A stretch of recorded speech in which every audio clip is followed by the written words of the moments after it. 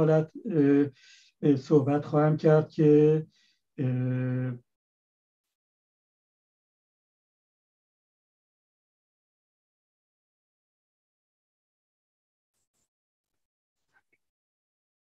عرض درود و احترام دارم خدمت تمامی همکاران عزیز و فعالین حقوق بشر.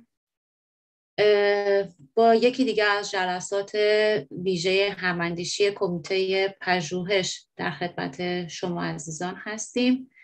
در تاریخ دوازدهم مهر ماه 1401 برابر با چهار اکتبر 2022 موضوع امروز برنامه ما در واقع که به نقد و بررسی اون خواهیم پرداخت حاکمیت مردم و دولت حقوقی هستش. در واقع این موضوع بسیار پر اهمیت هست و با توجه به صحبت هایی که از گوشه کنار به حال همه ما میشنویم صحبت از این هست که در آینده بعد از در واقع گذار از این مسئله و پیروزی در واقع چه اتفاقاتی خواهد افتاد و چه نوع حاکمیتی شروع به کار خواهد کرد. و بسیار اهمیت داره از اینکه سطح آگاهی و آگاهی مردم بالا باشه تا بتونن که قدرت تصمیم گیری داشته باشن در این موضوع. مهمان ویژه امروز برنامه ما جناب آقای رایی هستند که در خدمتشون هستیم و من بدون فوت وقت مایک رو به ایشون میدم و شنونده جناب آقای رایی هستیم. در خدمتون هستیم آقای رایی مایک برای شما بفرمایید. بسیار عالی. خیلی ممنون با درود مجدد به شما دوستان گرامی که حضور دارین و دوستانی که خواهند خواهید شنید این گفتگو رو. حاکمیت مردم همون جمهوری هستش.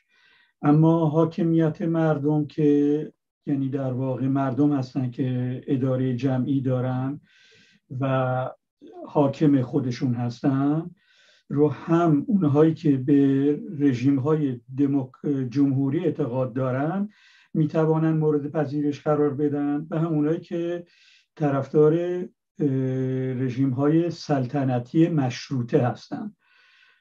رژیم های سلطنتی مشروطه اگر درست توجه بشه در واقع حاکمیت مردم رو پذیرفته و پادشاه سلطنت می‌کنه نه حکومت. حاکمیت با پادشاه نیست بلکه او یک سمبل یک سری مسائل هست. مثلا در دوران پادشاهی قدیم ایران شاهنشاه می‌گفتن. شاهنشاه کسی بوده که مظهر اخلاق و یه سری پرنسیپ ها و اصولی بوده. پس بنابراین موقعی که حاکمیت مردم می‌گوییم توجه داشته باشیم. توجه داریم به اینکه مردم با هم اد... می‌توانند همدیگر رو اداره بکنن و احتیاج به این ندارن که کسی یا جریانی یا نهادی یا استورهی یا نخبگانی یا اولیگارشی هایی یا شرکت های فراملیتی بر اونها حکومت داشته باشند.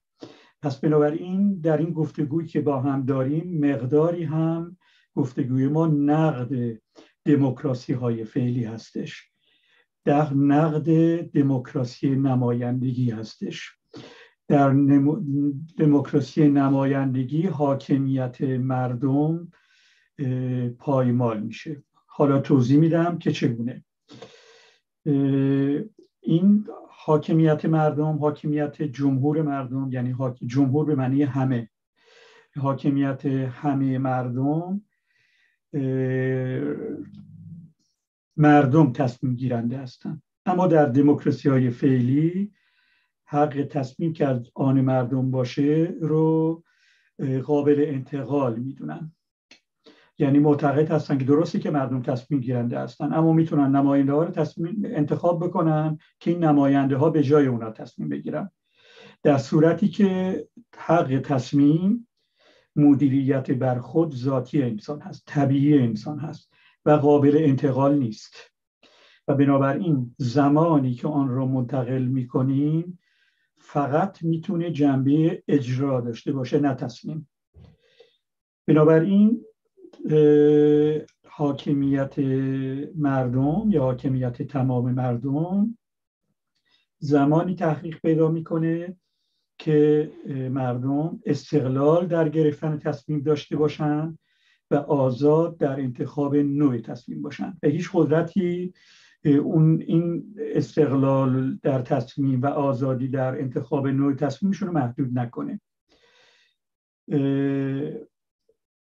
مردم حق از حق پس بنابراین توجه داشته باشید که در همچین حاکمیتی که مردم اداره کننده هستند حق از حق دانستن برخوردار هستند از حق راست گفتن و راست شنیدن برقرار هستند برای گروه بندی های مختلف صاحب ثروت و موقعیت از راه انحصار وسایل ارتباط جمعی و امثال هم شبکه های اجتماعی و اینها استقلال و آزادی اعضای جامعه و جامعه ملی رو نباید محکوم بکنن. لازم ضروری است که محدود نکنن. الزامی است که محدود نکند. حاکمیتی که به جامعه تعلق داره زمانی تحقق پیدا می‌کنه که این موانع برداشته بشه. این دخالت های قدرت های داخلی و خارجی برداشته بشه. این حاکمیت مردم یا جمهوری یا حاکمیت تمام مردم لازم میشه که بر میزان برابری باشه برابری حقوقی باشه خواهر و برادری و دوستی باشه. و در اون تناقض و تضاد و تقابل پیش نیاد. و با این گفته هایی که داشتیم این اصل به صورت یک اصل مستقل مطرح میشه که شفافیت وجود داشته باشه. همونطوری که گفتم حق دانستن و راست گفتن و راست شنیدن, قابل نقص کردن نیستش. پس بنابراین حاکمیت مردم زمانی برقرار میشه که یکی که مردم از حق دانستن و حق اطلاع گرفتن و حق اطلاع دادن و همچنین حق اختلاف برداشت و اختلاف گوناگونی نظرات برخوردار بشن و از حق اشتراک اتحاد برخوردار باشن. یعنی اصولی وجود داشته باشه که بر اساس اونها با هم همسویی داشته باشن. معیارهای اخلاقی باشه پرنسیپایی باشه که قراردادی مردم اونها رو پذیرفتن و بر اساس اونها عمل بشه و بر اساس اونها شفافیت کامل برای تک تک مردم وجود داشته باشه. یعنی نوع اطلاع رسانی بشه که اگر کسی متوجه نشد به این علت که خودش سراغ اطلاعات نرفته. نه اینکه محدودیت ایجاد کردیم یا اینکه در حد محدود انتشارش دادیم. پس استبدادهای فراگیر سانسور مطلق و تاریکی مطلق هستند و حاکمیت مردم جمهوری یا حاکمیت تمام مردم لازمه که روشنایی مطلق و شفافیت کامل باشه.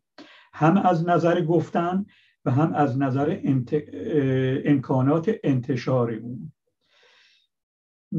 نکته دیگه که باید توجه داشته باشه ببین گفتگوهای من زیاد داره طولانی میشه. من الان شش قسمتش رو گفتم 20 قسمت هستش. هرگاه دوستان مایل هستن روی قسمت هایی که با هم گفتگو می‌کنیم. گفتگوی دو طرفه داشته باشیم یا نقدی دارن یا سوالی دارن یا در واقع تاییدی دارن لطفا دست بالا بیارن. حاکمیت جمهوری مردم با توجه داشته باشیم. حاکمیت تمام مردم یا جمهوری همه زمانی و همه مکانی است. همه زمانی است یعنی کهنه نشدنی است این حاکمیت. نمیشه زمانی از زمانها مردم محروم کرد از این حاکمیت. خود و اداره جمعی خود به این علت که فعلا نمی‌فهمن تا بیان به شعور پیدا کنن مثلا یه دوران گذاری برای این کار باشه و تا مردم رو آماده بکنیم. اونگونی که هگل در مورد کشورهای اروپایی میگه در رابطه با کشور که این مردم بهترین سرنوشتی دارن اینه که تحت سلطه ما باشن و این تحت سلطه بودن ما بهتر از تمام فجایی هستش که در سر اونا میاد. حالا بعدا این را اگه فرصت شد در همینجا بازش خواهم کرد. نگاه سلطه گرایانه تعلق نمی‌گیره به حاکمیت مردم. ناقص حاکمیت مردم. همه زمانی و همه مکانی است. به این معنی که حق تصمیم درباره حقوق ملت از خود مردم حقوق انسان از, از متعلق به خود مردم حقوق طبیعت به خود مردم تعلق داره حقوق شهروندی به خود مردم تعلق داره و در واقع هر جامعی درباره حقوقی که به جامعه جهانی هم مربوط میشه حق داره.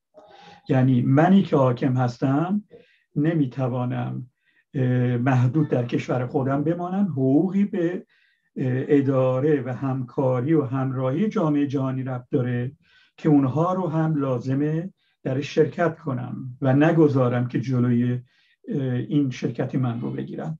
پس می‌بینیم حاکمیت جمهور مردم جمهوری یا حاکمیت همه مردم یا اداره کردن جمعی مردم پدیده همه زمانی و همه مکانی و کشوری و منطقی و جهانی هستش.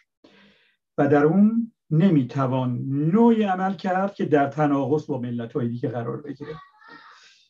پس توجه باید بنابراین باید داشته باشیم به دنبال این گفته هایی که داشتیم که استعداد رهبری همگانی هستش. یعنی همه می‌توانند اداره بکنند. به عنوان مثال برای شما بگم در جامعه سنتی قدیمی ایرانی در دهات ها مردم موقعی که می‌خوان تولید کنن دهاتی ها موقعی که می‌خوان تبدیل کنن با هم شور می‌کنن طوری با هم شور می‌کنن که می‌فهمن حالا اگه با اونا به طوری صحبت بکنیم که نفهمن این ایراد از ماست که نتونستیم با اونها رابطه مناسب برقرار کنیم. فعلا اونا می‌فهمن. در اون چیزی که مربوط به تولیدشون میشه در اون چیزی که به زندگیشون معروم میشه می‌فهمن. چرا بعضی اوقات اونها میگن این روشن فکرها که چی نمی‌فهمن؟ به خاطر همین عدم ارتباط زمانی زبانی.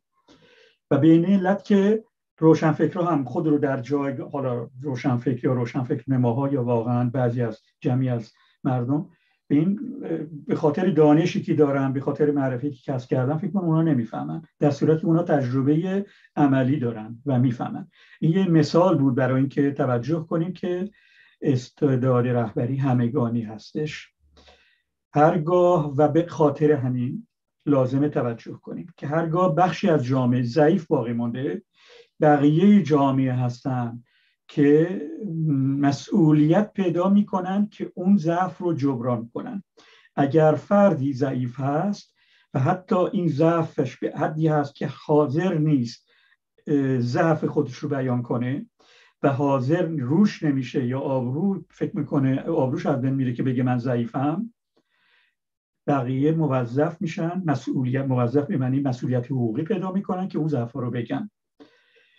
توجه داشته باشیم که هر جامعه ببینیم مطالبی که دارم مطرح می‌کردم بسیار متنوع هستش و بنابراین توجه می‌کنید که این تنوع و این در هم تنیدگی این مفاهیم با هم دیگه به صورت یک فرهنگ سیاسی لازمه بین ما گسترش پیدا کنه تا توجه کنیم که حاکمیت مردم جمهوری یا حاکمیت تمام مردم یا اداره جمعی توسط مردم یک کار پیچیده و تو در توی هست که لازمه که تک تک زوایای اون رو بشناسیم و بدانیم که چگونه می‌توانیم حفاظت ازش کنیم و چگونه آن چیزهایی که به خورد ما داده میشه به اسم اداره مردم از جنس اون هست یا نیست.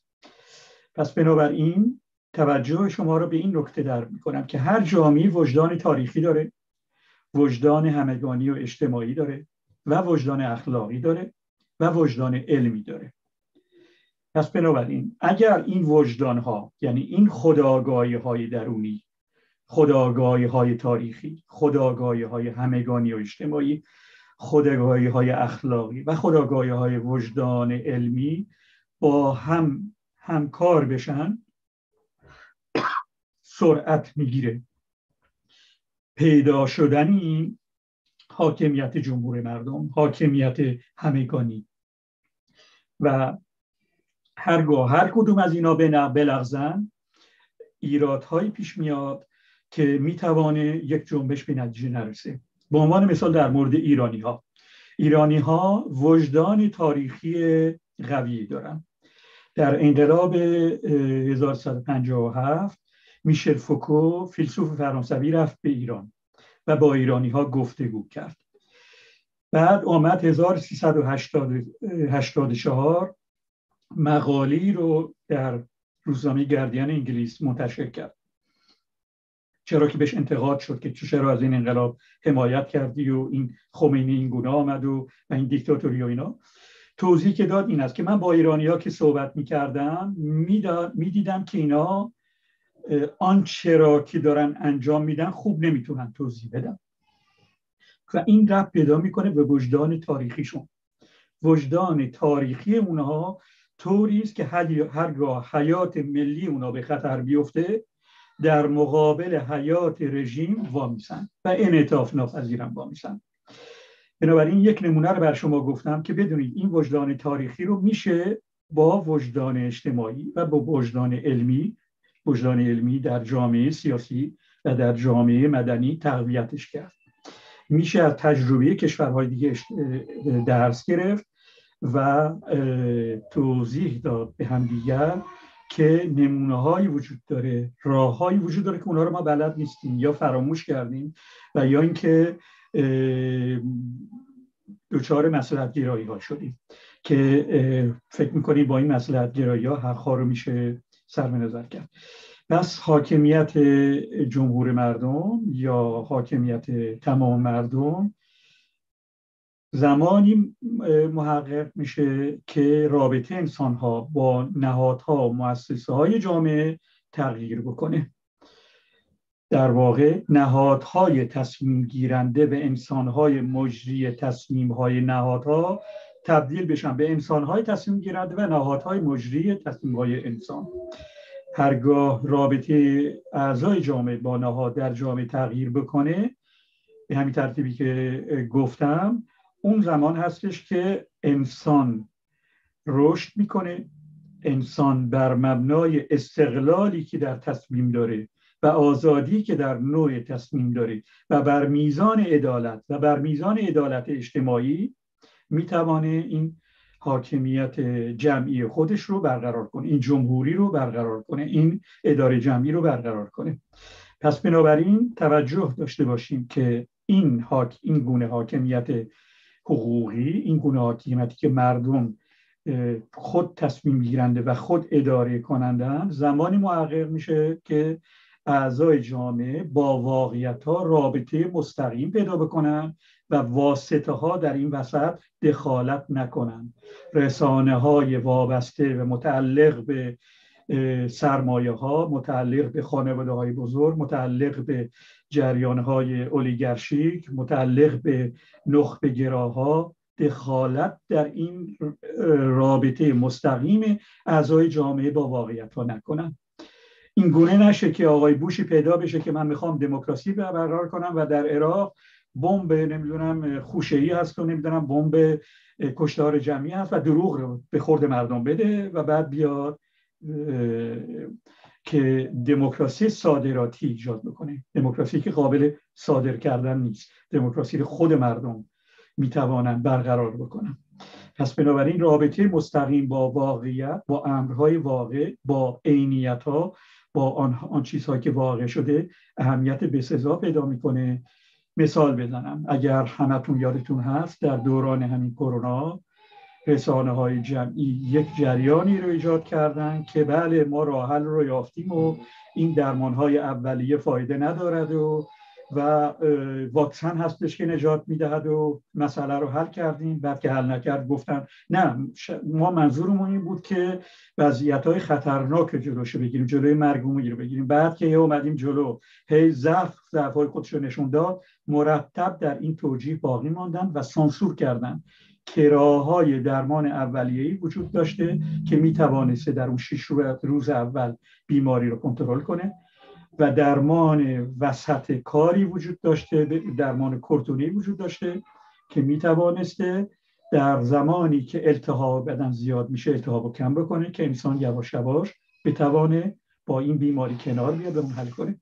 تمام اینا سانسور شد و به جاش یک معجزه یک نمی‌دونم چیز خارق العاده به اسم سانسور رو به خورده به اسم واکسن رو به خورده دادن. اون هم آنچه که واکسن نبود.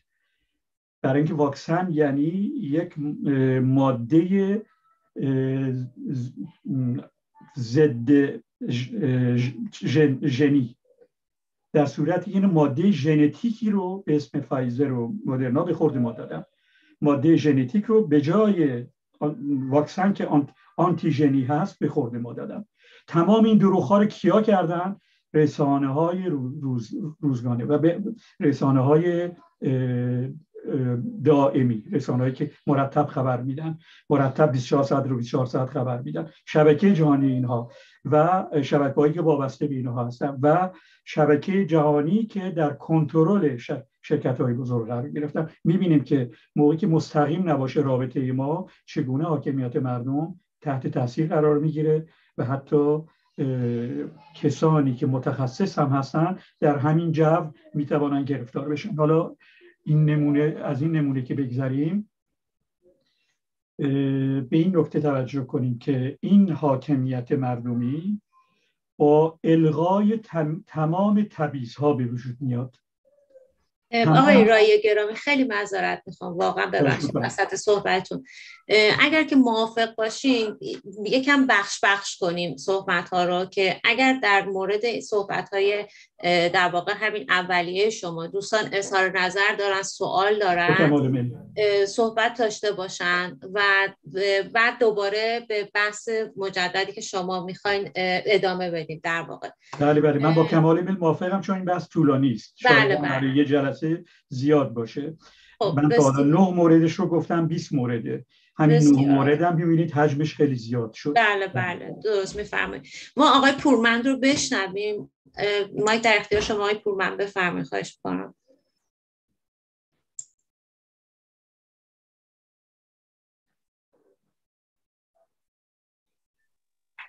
درود خدمت همه همکاران عزیز و دوستان. جناب رایی من یه سوال داشتم خدمتتون و اینکه البته بیشتر می‌خواستم نظرتون رو بدونم. راجبی اینکه بعد از این انقلابی که در شرف انجام هست دولت گذاری که قرار تشکیل بشه چه ویژگی های بسیار شاخصی باید داشته باشه؟ اگه میشه لطفا یه توضیح اجمالی هم راجع به قضیه بدید خیلی ممنون میشم. که چه ویژگی یعنی خیلی مهم هست که این دولت گذار باید داشته باشه که بتونه این سمت سوی این انقلاب حفظ کنه به بیراه نره. ممنون میشم. متشکرم. بله خیلی ممنون. من نظر خودم رو و طرحی رو پیشنهادی رو که به جامعه کردیم رو در اختیار شما می‌ذارم. ولی خوشحال میشم دوستان هم نظرات خودشون رو بگن. اون طرحی که ما پیشنهاد کردیم من و هم فکران من آقای جانگیر گرزار آقای مصطفی خانم فیروزه بنی صدر خانم جاله وفا خانم عقیله جعفری و دوست آقای حمید امرانی و آقای علی صدارت با هم کار کردیم نزدیک دو سال کار کردیم و هم پیشنهاد قانون اساسی دوران حقوقی برای ایران و جهان. به این صورت که چون حقوقی هست هم به درد ایران می‌خوره هم جهان پیشنهاد کردیم و هم دوران گذار. توجه داشته باشیم که دوران گذار دورانی هست که در اون نمی‌توانیم انتخاب بکنیم. یعنی رژیم ولایت فقیه سر کاره و ما نمی‌توانیم انتخاب بکنیم. بنابراین لازم توجه کنیم به اقبال مردم. یعنی پیشنهادهای خودمون رو در این مرحله بدیم. سازمان ها و گروه های مختلف این پیشنهادهای خودشون رو بدن و در این حال تاریخچه خودشون رو و نقد گذشته خودشون رو در اختیار مردم بگذارن که مردم ببینن که اینا کی بودن چه اشتباهی کردن. و توجه داشته باشیم به این نکته که همه سازمان ها و همه نهادها و همه فعالان به, به صورت فردی یا جمعی می‌تونن دو نوع اشتباه بکنن. یا اشتباه تجربی کنن یا اشتباه مرامی اشتباه تجربی رو میشه تصحیح کرد و خوب هم که تصحیح بشه به بهترین انسان ها انسان های که به خود نگاه می‌کنن اشتباه خود تسلیم می‌کنن. اما اشتباهات مرامی می‌توانه ادامه دار بشه و بر اساس اون ایدئولوژی و بر اساس اون مرام مرتب من می‌توانم در خطا و ایراد باشم و از خود انتقاد نکنم. پس بنابراین لازمه که در این دوران گذار شناس بشناسانیم خودتون رو به نظر شخص من. به اسم بشناسانیم فعالان به اسم خودشون دونودونه بشناسونن خودشون رو. و در این حال تاریخچه خودمون رو نقد از گذشته خودمون ارائه بدیم و در این مرحله. موقعی که ما اگر مردم به ما اقبال کردن به کسانی هم فکر من و هم فکر من دو تا کار می‌تونیم بکنیم. ای رو به مردم پیشنهاد بکنیم که در این دوران گذار نسخه های مشخص حقوقی رو انجام میدن برای دوران مشخص شش ماهه. حالا حد اکثر به نظر من یک ساله بین شش ماه تا یک سال و نه بیشتر.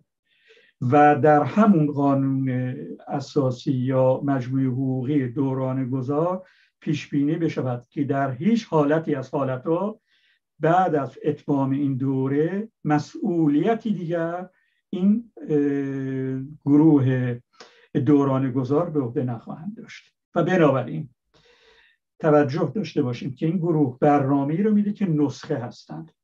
می‌گوید من آمدم سر کار یک گروهی رو تشکیل میدم که اینها تصمیم گیرنده سیاسی هستند جای قوه مجریه رو به طور موقت می‌گیرن. جای مجلس رو که قانون گذار هست به طور موقت می‌گیرن. چگونه؟ قانون های از قبل پیشنهاد شده رو از قبل اجرا شدنی رو پیشنهاد می‌کنیم و این گروه نمی‌توانند در حین دوران گذار خودشون قانون تعیین کنن بلکه بر اساس قوانینی که به شما پیشنهاد می‌کنیم عمل می‌کنن که به نظر من حقوق هستن و نمی‌توانه غیر از حقوق باشن چه در این دوران چه در دوران بعدش بر اساس حقوق عمل می‌کنیم و برنامه هایی هم که به شما پیشنهاد می‌کنیم مشخصه و به نظر من لازم است که این برنامه که پیشنهاد می‌کنیم جایگزین یعنی راه حل دو سه راه حل ب و سه هم براش تعیین کنیم که اگر این نشد این گونه میشه. و در این حال توجه کنیم که کسانی که در اونجا هستند که بر اساس اقبال مردم هستند به تدریج خودشون رو کامل می‌تونن بکنن در همین دوران گذار با انتخابات شهری و شوراها و اینا. یعنی قسمتی از این کسانی که به طور موقت حکومت می‌کنن یعنی اداره جمعی رو به عهده می‌گیرن حکومت جمعی می‌کنن. بر اساس پیشنهادی که از قبل به مردم شده و اقبالی که میشه عمل می‌کنن و قسمت هایی هم نه به تدریج بر اساس انتخاب ها وارد میشن. مسئله مشکلی که پیش میاد این هستش که این اقبال چیست دقیقا؟ آیا اقبال اصلا شدنی هست؟ آیا ما می توانیم حالا که می‌گوییم اقبال بگیریم دقیقا تشخیص بدیم که اقبال مردم به کیست و چه گروهایی است. توجهش داشته باشیم در سال 57 یک مشکلی پیش اومد. پشت پرده نهزت سازمان نهزت آزادی. با خمینی و بلکه از نزدیکان اون مثل هاشمی رفسنجانی و موسوی اردبیلی و بهشتی و اینا اینها خودشون رو کردن شورای انقلاب. اسفند مای همون سال مشخص شد که عده زیادی رو حذف کردن. و زمانی که بدون اطلاع اینا آقای طالقانی آمده شورای انقلاب تشکیل داد خمینی بهش پیشنهاد کرد که شما اون شورای انقلاب بزن کنار و بیا بشو رئیس این شورا. آقای طالقانی پذیرفت و بعدا متوجه شدیم که اشتباه بود. اون شورای انقلاب آقای طالقانی تنوع داشت و این شورای انقلاب خمینی. پس می‌بینیم لازم متوجه باشیم که آن کسی که خود رو سخنگو میدانه آن کسی که میاد به اقبال بر اساس اقبال مردم عمل می‌کنه. همچنان میکانیسمی رو توجه بهش بکنیم که اینها متنوع باشن از یک گروه مشخصی نباشن.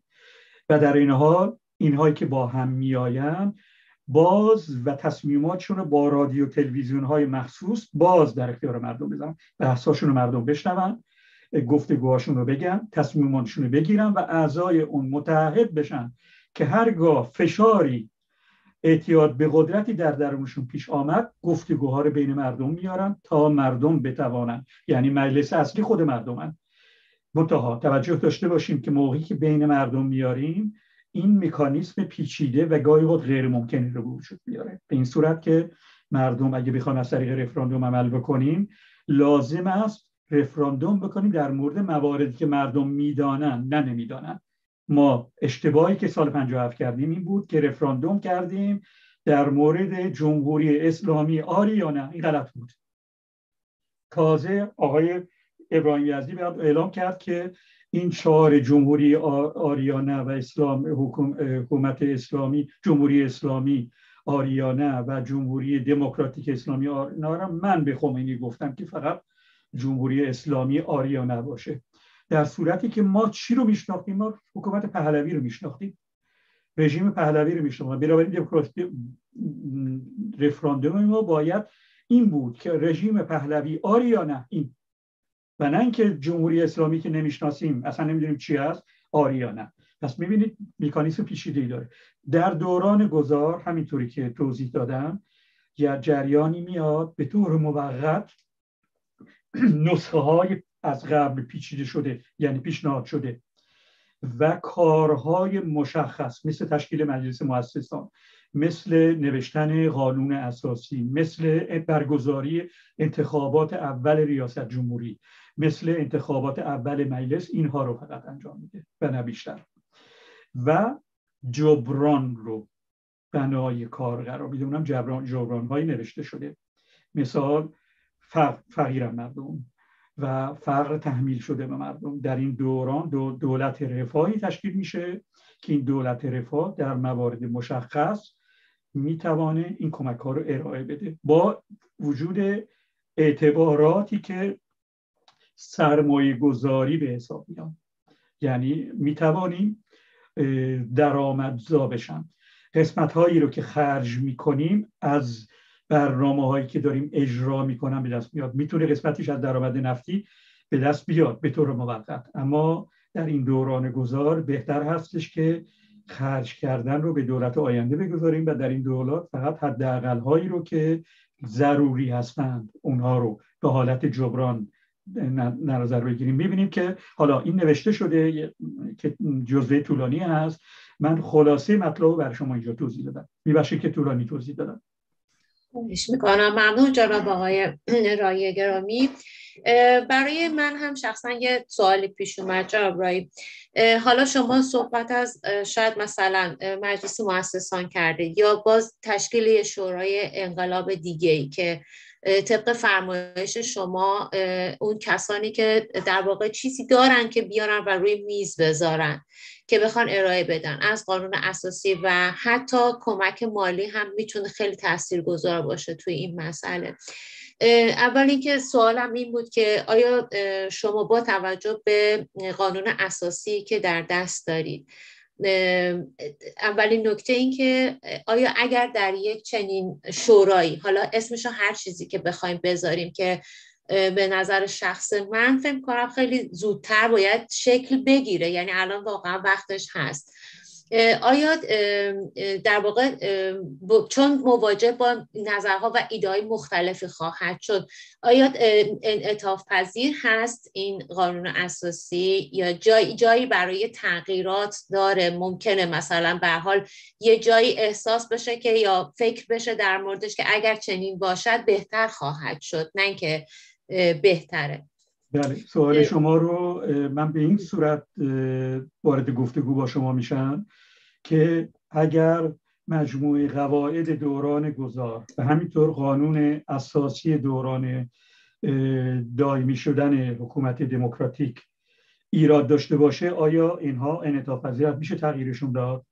پاسخ من دو, دو چیز هست. یک هرگاه هر کدوم از بندهای قانون اساسی و هر کدوم از بندهای این دوران گذار در تناقض با حقوق قرار بگیرن حقوق انسان حقوق ملی حقوق شهروندی حقوق طبیعت و حقوق جامعه ایرانی در جامعه جهانی با این پنج حقوق در تناقض بگیرن. اون مجموعه قوانین و حقوق هستند که لازمه به در جهت این حقوق تغییر کنند حقوق ثابت و دائمی و پایدار هستند کهونه نشدنی هم تبعیض ندارن و بنابراین لازم حقوق طبیعی یا حقوق ذاتی. حقوق انشایی که در موضوعی که در ارتباط با اینا هست هم اگر حقوق هستن و درست تشخیص داده باشیم باز پایدارن. بنابراین بله تغییر کنن. حتی در همون دوران گذار به محضی که بگوییم این حقی که شما میگید حقوقی نیست این امتیاز رو با حق اشتباه گرفتین لازمه تغییر کنه. اما سوال می‌تونه این سوال شما رو این گونه مطرح کنیم خیلی خوب حالا که گفتین تغییر بکنه چه مدت به چه مدت تغییر کنه؟ آیا من با چهار سال وایسم پنج سال وایسم؟ نمی‌دونم سی سال وایسم مثلا یه قانون اساسی تغییر کنه یا بلافاصله تغییر می‌کنه؟ پاسخ من این هست هر جایی که تناقض بین قانون اساسی و حقوق پیش آمد ضرورت پیش میاد. ضرورت حقوقی پیش میاد. و لازمه که مجلس مؤسسان در واقع حالا مجلس مؤسسان به نظر من چون بعضی ها معتقدن کنگره باید تشکیل بشه جمعی از مجلس نمایندگان سنا یا مجلس نمایندگان ایان در انگلیس و اینا پیش بیاد. نظر من این هستش که مجلس مؤسسانی رو لازم هر چهار سال پنج سال یه بار انتخاب کنیم و اینها هر وقت ضرورت بلافاصله تشکیل جلسه بدن. یعنی اینها یک مجلسی در فرانسه وجود داره. مجلس شورای قانون اساسی میگن. حالا انتخابی نیست چهار سال یه بار ولی وجود داره. ایران خودمون که به تقلبی شورای قانون اساسی وجود داره در واقع شورای دخالت در قانون اساسی هستش. بنابراین لازمه یک مجلسی وجود داشته باشه که اینها رو بررسی بلافاصله و فوری بکنه. این پاسخ من هستش. بسیار ممنون از شما. خب دوستان اگر سوالی دارن می‌تونن با علامت دست راهنمایی کنن یا اگر نظری دارن خوشحال میشیم نظرات شما رو هم بشنویم. در غیر این صورت اصفانی می‌کنم. در غیر این صورت جناب رایی به بخش دوم صحبت های شما بپردازیم؟ مجدد اگر من متوجه شدم دوستان دستشون بالا هست حتما اعلام. پس بنابراین می‌بینیم که این اداره کردن جمعی ما دست خودمون لازمه همواره بمونه. و برای اینکه دست خودمون بمانه لازم شفاف باشه. لازم است که در استقلال ما و آزادی ما دخالتی وجود نداشته باشه. استقلال ما چه هست؟ ما موجوداتی هستیم که به صورت طبیعی راحل یابیم موجوداتی هستیم به طور طبیعی محتوای حقوقی داریم. سخت افزار حقوقی داریم. موجوداتی تشخیص دهنده هستیم. موجوداتی هستیم که می توانیم سره رو از ناصره تشکیل بدیم و بنابراین اجازه دخالت در تصمیم خود رو در استقلال خود رو نمیدیم و آزادیم. آزادیم به این معنی که همه حقوق رو داریم. و حقوق ما یک سیستم کامل غیر قابل صرف نظر کردنه. آزادی ما ذره ذره گرفتنی نیست. آزادی ما رو همه رو با هم می‌گیریم و اگر همه رو نداشته باشیم هیچ نداریم. به این علت که حقوق در ارتباط با هم هستند و پایمال کردن یکی پایمال کردن همه هستش. مثال می‌زنم. حق تصمیم با حق ترمیم اشتباه در ارتباطه. اگر آقایی در خانه آمد گفت من رئیسم من تصمیم می‌گیرم به تعرض داشته به حق تصمیم همسر خودش. و چون به حق تصمیم همسر خودش ترمیم داشته حق دومی که حق ترمیم اشتباه دیگه معنی پیدا نمی‌کنه. چون عمل نمی‌کنه همسرش که تا بخواد ترمیم بکنه خودشه که عمل می‌کنه. و بنابراین حق رو یک طرفه کرده. پس حق تصمیم با حق ترمیم اشتباه و همچنین با حق سومی که حق دوستی هست در ارتباط قرار می‌گیره. حق دوستی حق رابطه دو طرفه حق همدلی و همکاری و تصمیم مشترک هست. تصمیم مشترک و اجرای تصمیم. در مرحله تصمیم هیچ انسانی به هیچ انسانی نمی‌تونه زور بگه. هیچ انسانی نمی‌تونه اکراه در کار انسانی بجا بیاره. در مرحله اجرا هستش که انسانها می‌توانند قراردادی رو که انجام شده اونها رو با انجام بدن و در اینجا دستور معنی پیدا می‌کنه. یه مثال خیلی ساده می‌زنم. در شهرهای مختلف امریکا در واقع بررسی های شد. دید یه شهری در امریکا نزدیک فلوریدا این میزان جرایم رانندگی در اونجا خیلی زیاده. هر کاری هم که می‌کنن هر قدر جریمه و نمی‌دونم محدودیت ها که ایجاد می‌کنن اونجا مردم چراغ قرمزشون رو رد میشن. نمی‌دونم تمام کارهایی که غیر قانونی است از نظر آینه رانندگی اون رو انجام میدن. از دانشگاه فلوریدا می‌خوان که یه تحقیقی بکنه که چرا در اینجا مردم این گونه هستن. دانشگاه فلوریدا میاد و تحقیق رو می‌کنه با مردم. بعد از تحقیقات به این نتیجه می‌رسه که علت اینکه مردم رعایت قوانین راهنمای رانندگی رو در این شهر نمی‌کنن این هستش که تصمیم خودشون نیست. از خودشون این دانشگاه سوال کرده چه کارهایی رو بکنن. مثلا به عنوان مثال مردم گفتن آقا اینجا این خیابون باری که هر دو ساعت یه بار یه دونه ماشین هم رد نمیشه. اینجا چرا قرمز رو بردارید. مثلا یه میدون کوچیک بذارید نمی‌دونم خط خطکش چی مثلا امثال این کارا موقعی که شما این تصمیم مردم اجرا کنین به احتمال زیاد نتیجه میده. همین کار رو کردن. اون شهری که بدترین شهر امریکا بود از نظر عدم رعایت قوانین آین رانندگی بهترین شهر امریکا شد. پس می‌بینیم که خود رو سهیم دانستن و خود رو شریک تصمیم دانستن چه دینامیکی ایجاد می‌کنه و چه مسائلی رو که به نظر پیش میاد راحت حل می‌کنه.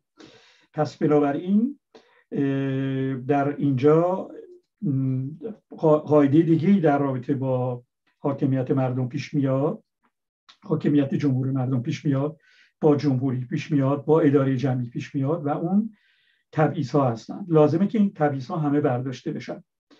تبعیض در حقوق تبعیضی وجود نداره. شما هر کدوم از حقوق رو می‌تونید در تایید حقوق دیگه همطور که مثال زدم. گفتیم چیه؟ حق تصمیم حق مدیریت خود با حق ترمیم اشتباه و با حق دوستی و حق بله با هم در ارتباط هستن این حقوق. همینطور با حقوق دیگه در ارتباط هستن. همینطور این حقوق در ارتباط و قرار می‌گیرن با حق بهرهوری از استعدادهای خود.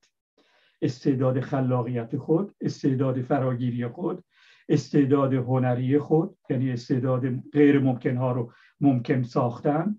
استعدادی که در اون درها بسته است پنجری باز می‌کنه به طرف راحل ها. استعداد تنظیم امور و اقتصادی. استعداد تشخیص پرنسیپ ها تشخیص فکرهای راهنما راهنما و استعداد مدیریت. اینها با هم ارتباط تنگاتنگ دارن و با تمام حقوق دیگه در ارتباط قرار می‌گیرن هیچ کدوم توش تبعیض نیست. تبعیض نتیجه رابطه های قدرت هست و نتیجه جایگزین کردن حقوق با منفعت طلبی هستش. منفعت سود تعریف جهان شمول نداره. هرگاه شما آمدید تعریف از سود ارائه دادید سود عدی هست. به ضرر دیگه. هرگاه آمدید. گفتید منافع ملی حتما تعریف جهان شمول براش ندارید اما آمد گفتید حقوق ملی. بعد می توانید بگویید که با این حقوق ملی که جهان شمول هستن برای همه هستن حالا من سود و زیان رو در تطبیق با اینها به طور نسبی تشخیص میدم. اگرم اشتباه کردم ترمیم می‌کنم. پس بنابراین توجه داشته باشیم که حاکمیت جمهور مردم یا جمهوری یا اداره جمعی محدود کنندگی قدرت ها رو نمی‌تونه بپذیره. هر جا که محدود کننده به وجود میاد هر جا که حدی به وجود میاد هر جا که خط قرمزی به وجود میاد این رو قدرت انجام داده. فقط قدرت که حد تعیین می‌کنه خط قرمز ایجاد می‌کنه غالب درست می‌کنه محدودیت ایجاد می‌کنه. حقوق چه کار می‌کنه؟ اندازه یابه اندازه ها رو پیدا می‌کنه. اندازه ها رو در رابطه با نیازهای عینی پیدا می‌کنه. آنچه را که اندازه های حقوقی که پیدا میشن قابل تجربه کردن برای مردم هستن. قابل توضیح دادن عینی و اجتماعی هستن. قابل توضیح دادن روانکاوانه هستند قابل توضیح دادن جامعه شناسانی هستند که می‌تواند شکل غیر تفسیری داشته باشه. بنابراین در اینجا یک نکته مهمی رو دارم به شما مطرح می‌کنم. آیا انسان می‌تواند ابژکتیو باشد؟ آیا انسان می‌تواند واقعیت محض را تشکیل بدهد؟ پاسخ من منفی است. نه. تنها مطلق هست که می‌تواند واقعیت محض رو تشکیل بده. ما سعی می‌کنیم به طرف واقعیت محض بریم به طرف نفس, نفس واقعیت بریم. پس امرهای واقع رو ما می‌توانیم در تطبیق با حقوق که ثابت و دائمی هستند ثابت و دائمی بودنش رو بر اساس خصیصه های حق خصیصه های قاعده های جان شمول یه بار میشه یه موضوعی بحثی باشه شناسایی می‌کنیم. می‌توانیم به تدریج به طرف واقعیت بریم. یعنی همواره موقعی که نظر پیدا می‌کنیم می‌توانه به واقعیت نزدیک باشه اما حکم نیست. بنابراین همواره نظر لازم مرتب در نقد و نقد و بررسی باقی بمانه تحقیق باقی بمانه. نقد لازمه که هم در درون یه تخصصی قابل نقد بمانه و هم در رابطه با تخصص های دیگه قابل نقد بمانن یک نهاد تصمیم گیره رو میشه از درون دموکراتیک کرد. اما دموکراسی این نیست که ما بگوییم در درونشون نقد وجود داره با هم گفتگو میشه نقد می‌کنیم. نه. این نهاد لازمه که باز بمانه شفاف باقی بمانه و نقدهای نهادهای دیگر رو بپذیر به عنوان مثال بر شما بگم بانک ها در, در حال حاضر در سطح دنیا یک نظارت و کنترل درون سازمانی دارن. اجازه دخالت رو به کسی نمیدن. من این مشکل ایجاد کرده. نهاد تعلیم و تربیت در کشورهای مختلف به خود اجازه تعیین تکلیف برای بچه های مردم داده. اجازه تجزیه تحلیل روانکاوانه روان جامعه شناسانه پدر مادرها خود فرد شاگردها و همینطور نهادهای مختلف فنی و تخصصی اجتماع رو نمیده. اگر هم وجود داره دخالت تو کار خودش نمیده. حالا اگر اینها با هم همراه بشن می‌توانیم جلوی بسیاری از ایرادها رو بگیریم. پس بنابراین توجه داریم که درست است که حاکمیت مردم شفافه. اما به این معنی نیستش که ما یافتیم و آخرین کار رو انجام دادیم و دیگر بعد از این نسخه پیشیدیم و مولای ازش نمیره. همونطوری که خانه بیرجندی گفتن لازم انعطاف پذیر در همه موارد باقی بمانیم تا بتوانیم به تدریج به طرف واقعیت محض بریم. خیلی ممنون بفرمایید. سپاسگزارم جناب آقای رایی.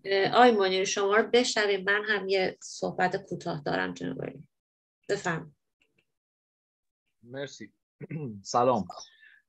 آقای رایی من حالا شما دقیقا راجع به یک روند حالا اصلاحاتی یک سیستم در واقع حالا چه درون سازمانی چه با ارتباط با بیرون از سازمان صحبت کردیم یه مسئله که همیشه ذهن من رو مشغول کرده حالا چون راجع به گذار هم صحبت کردیم راجع به دولت گذار هم صحبت کردیم بیشتر می‌خوام بدونم حالا شوراهای گذار چه چه قدرت بیرونی وجود داره که اون که اون شوراهای گذار رو از اون حالت خودکامه خارج بکنه و تحت کنترل بگیرتش.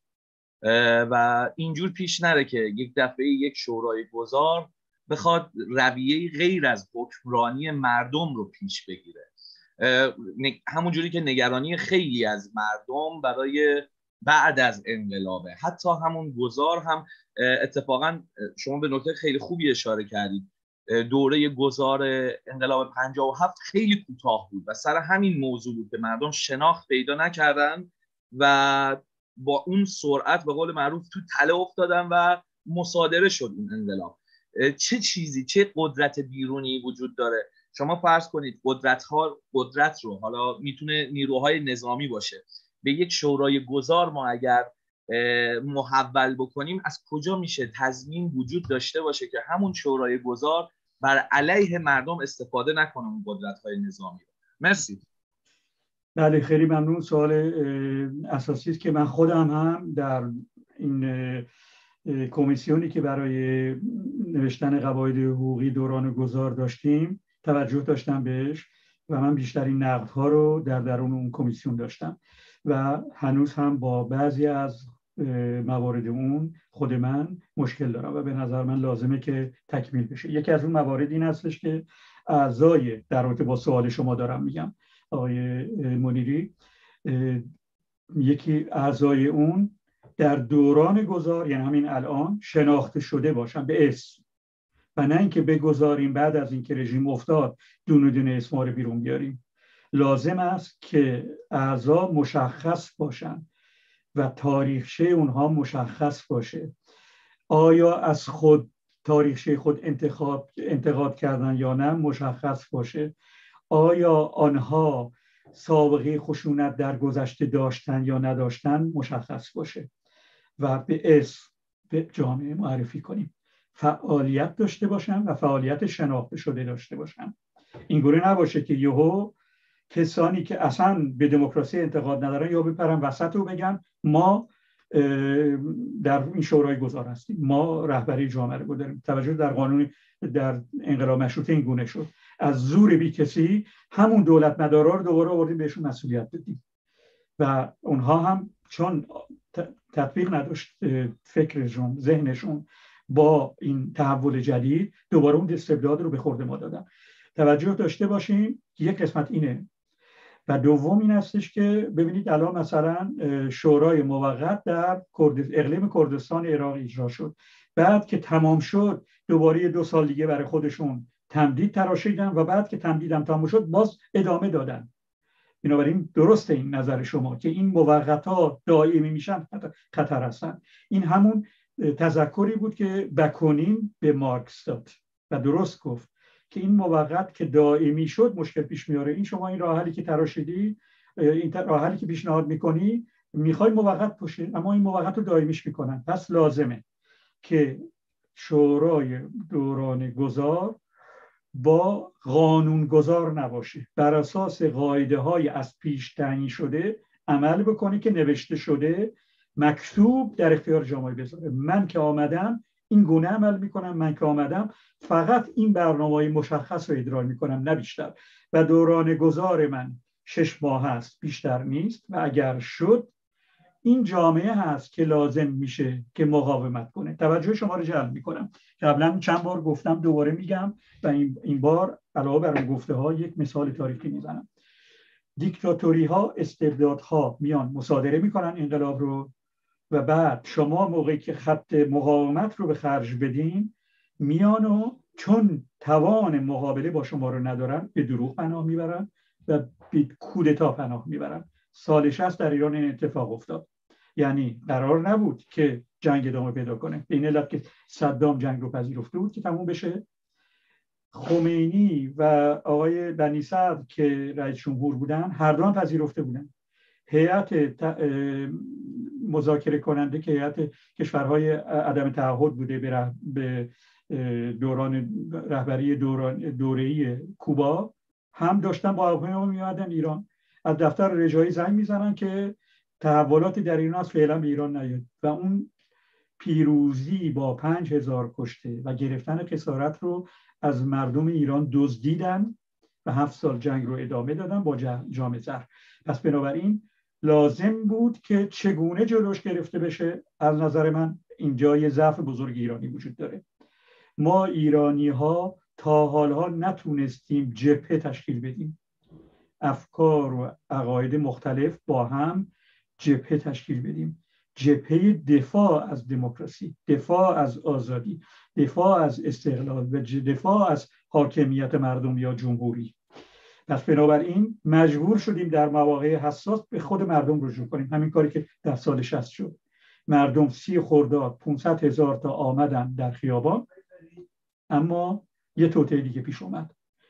در اون تظاهرات عکسای مسئول رجوی رو بردن بالا. مردم که نیامده بودن برای حمایت از مسعود رجوی و آمده بودن برای دفاع از جمهوری که خودشون بهش رای داده بودن رئیس جمهوری که خودشون بهش رای داده بودن به دفاع از حاکمیت خود بعد از برگشتن خونه. پس بنابراین توجه لازمه داشته باشیم که آنجایی که ما ایجاد کردیم حاکمیتی رو لازم محافظش هم باقی بمانیم و در همیشه در صحنه باقی بمانیم.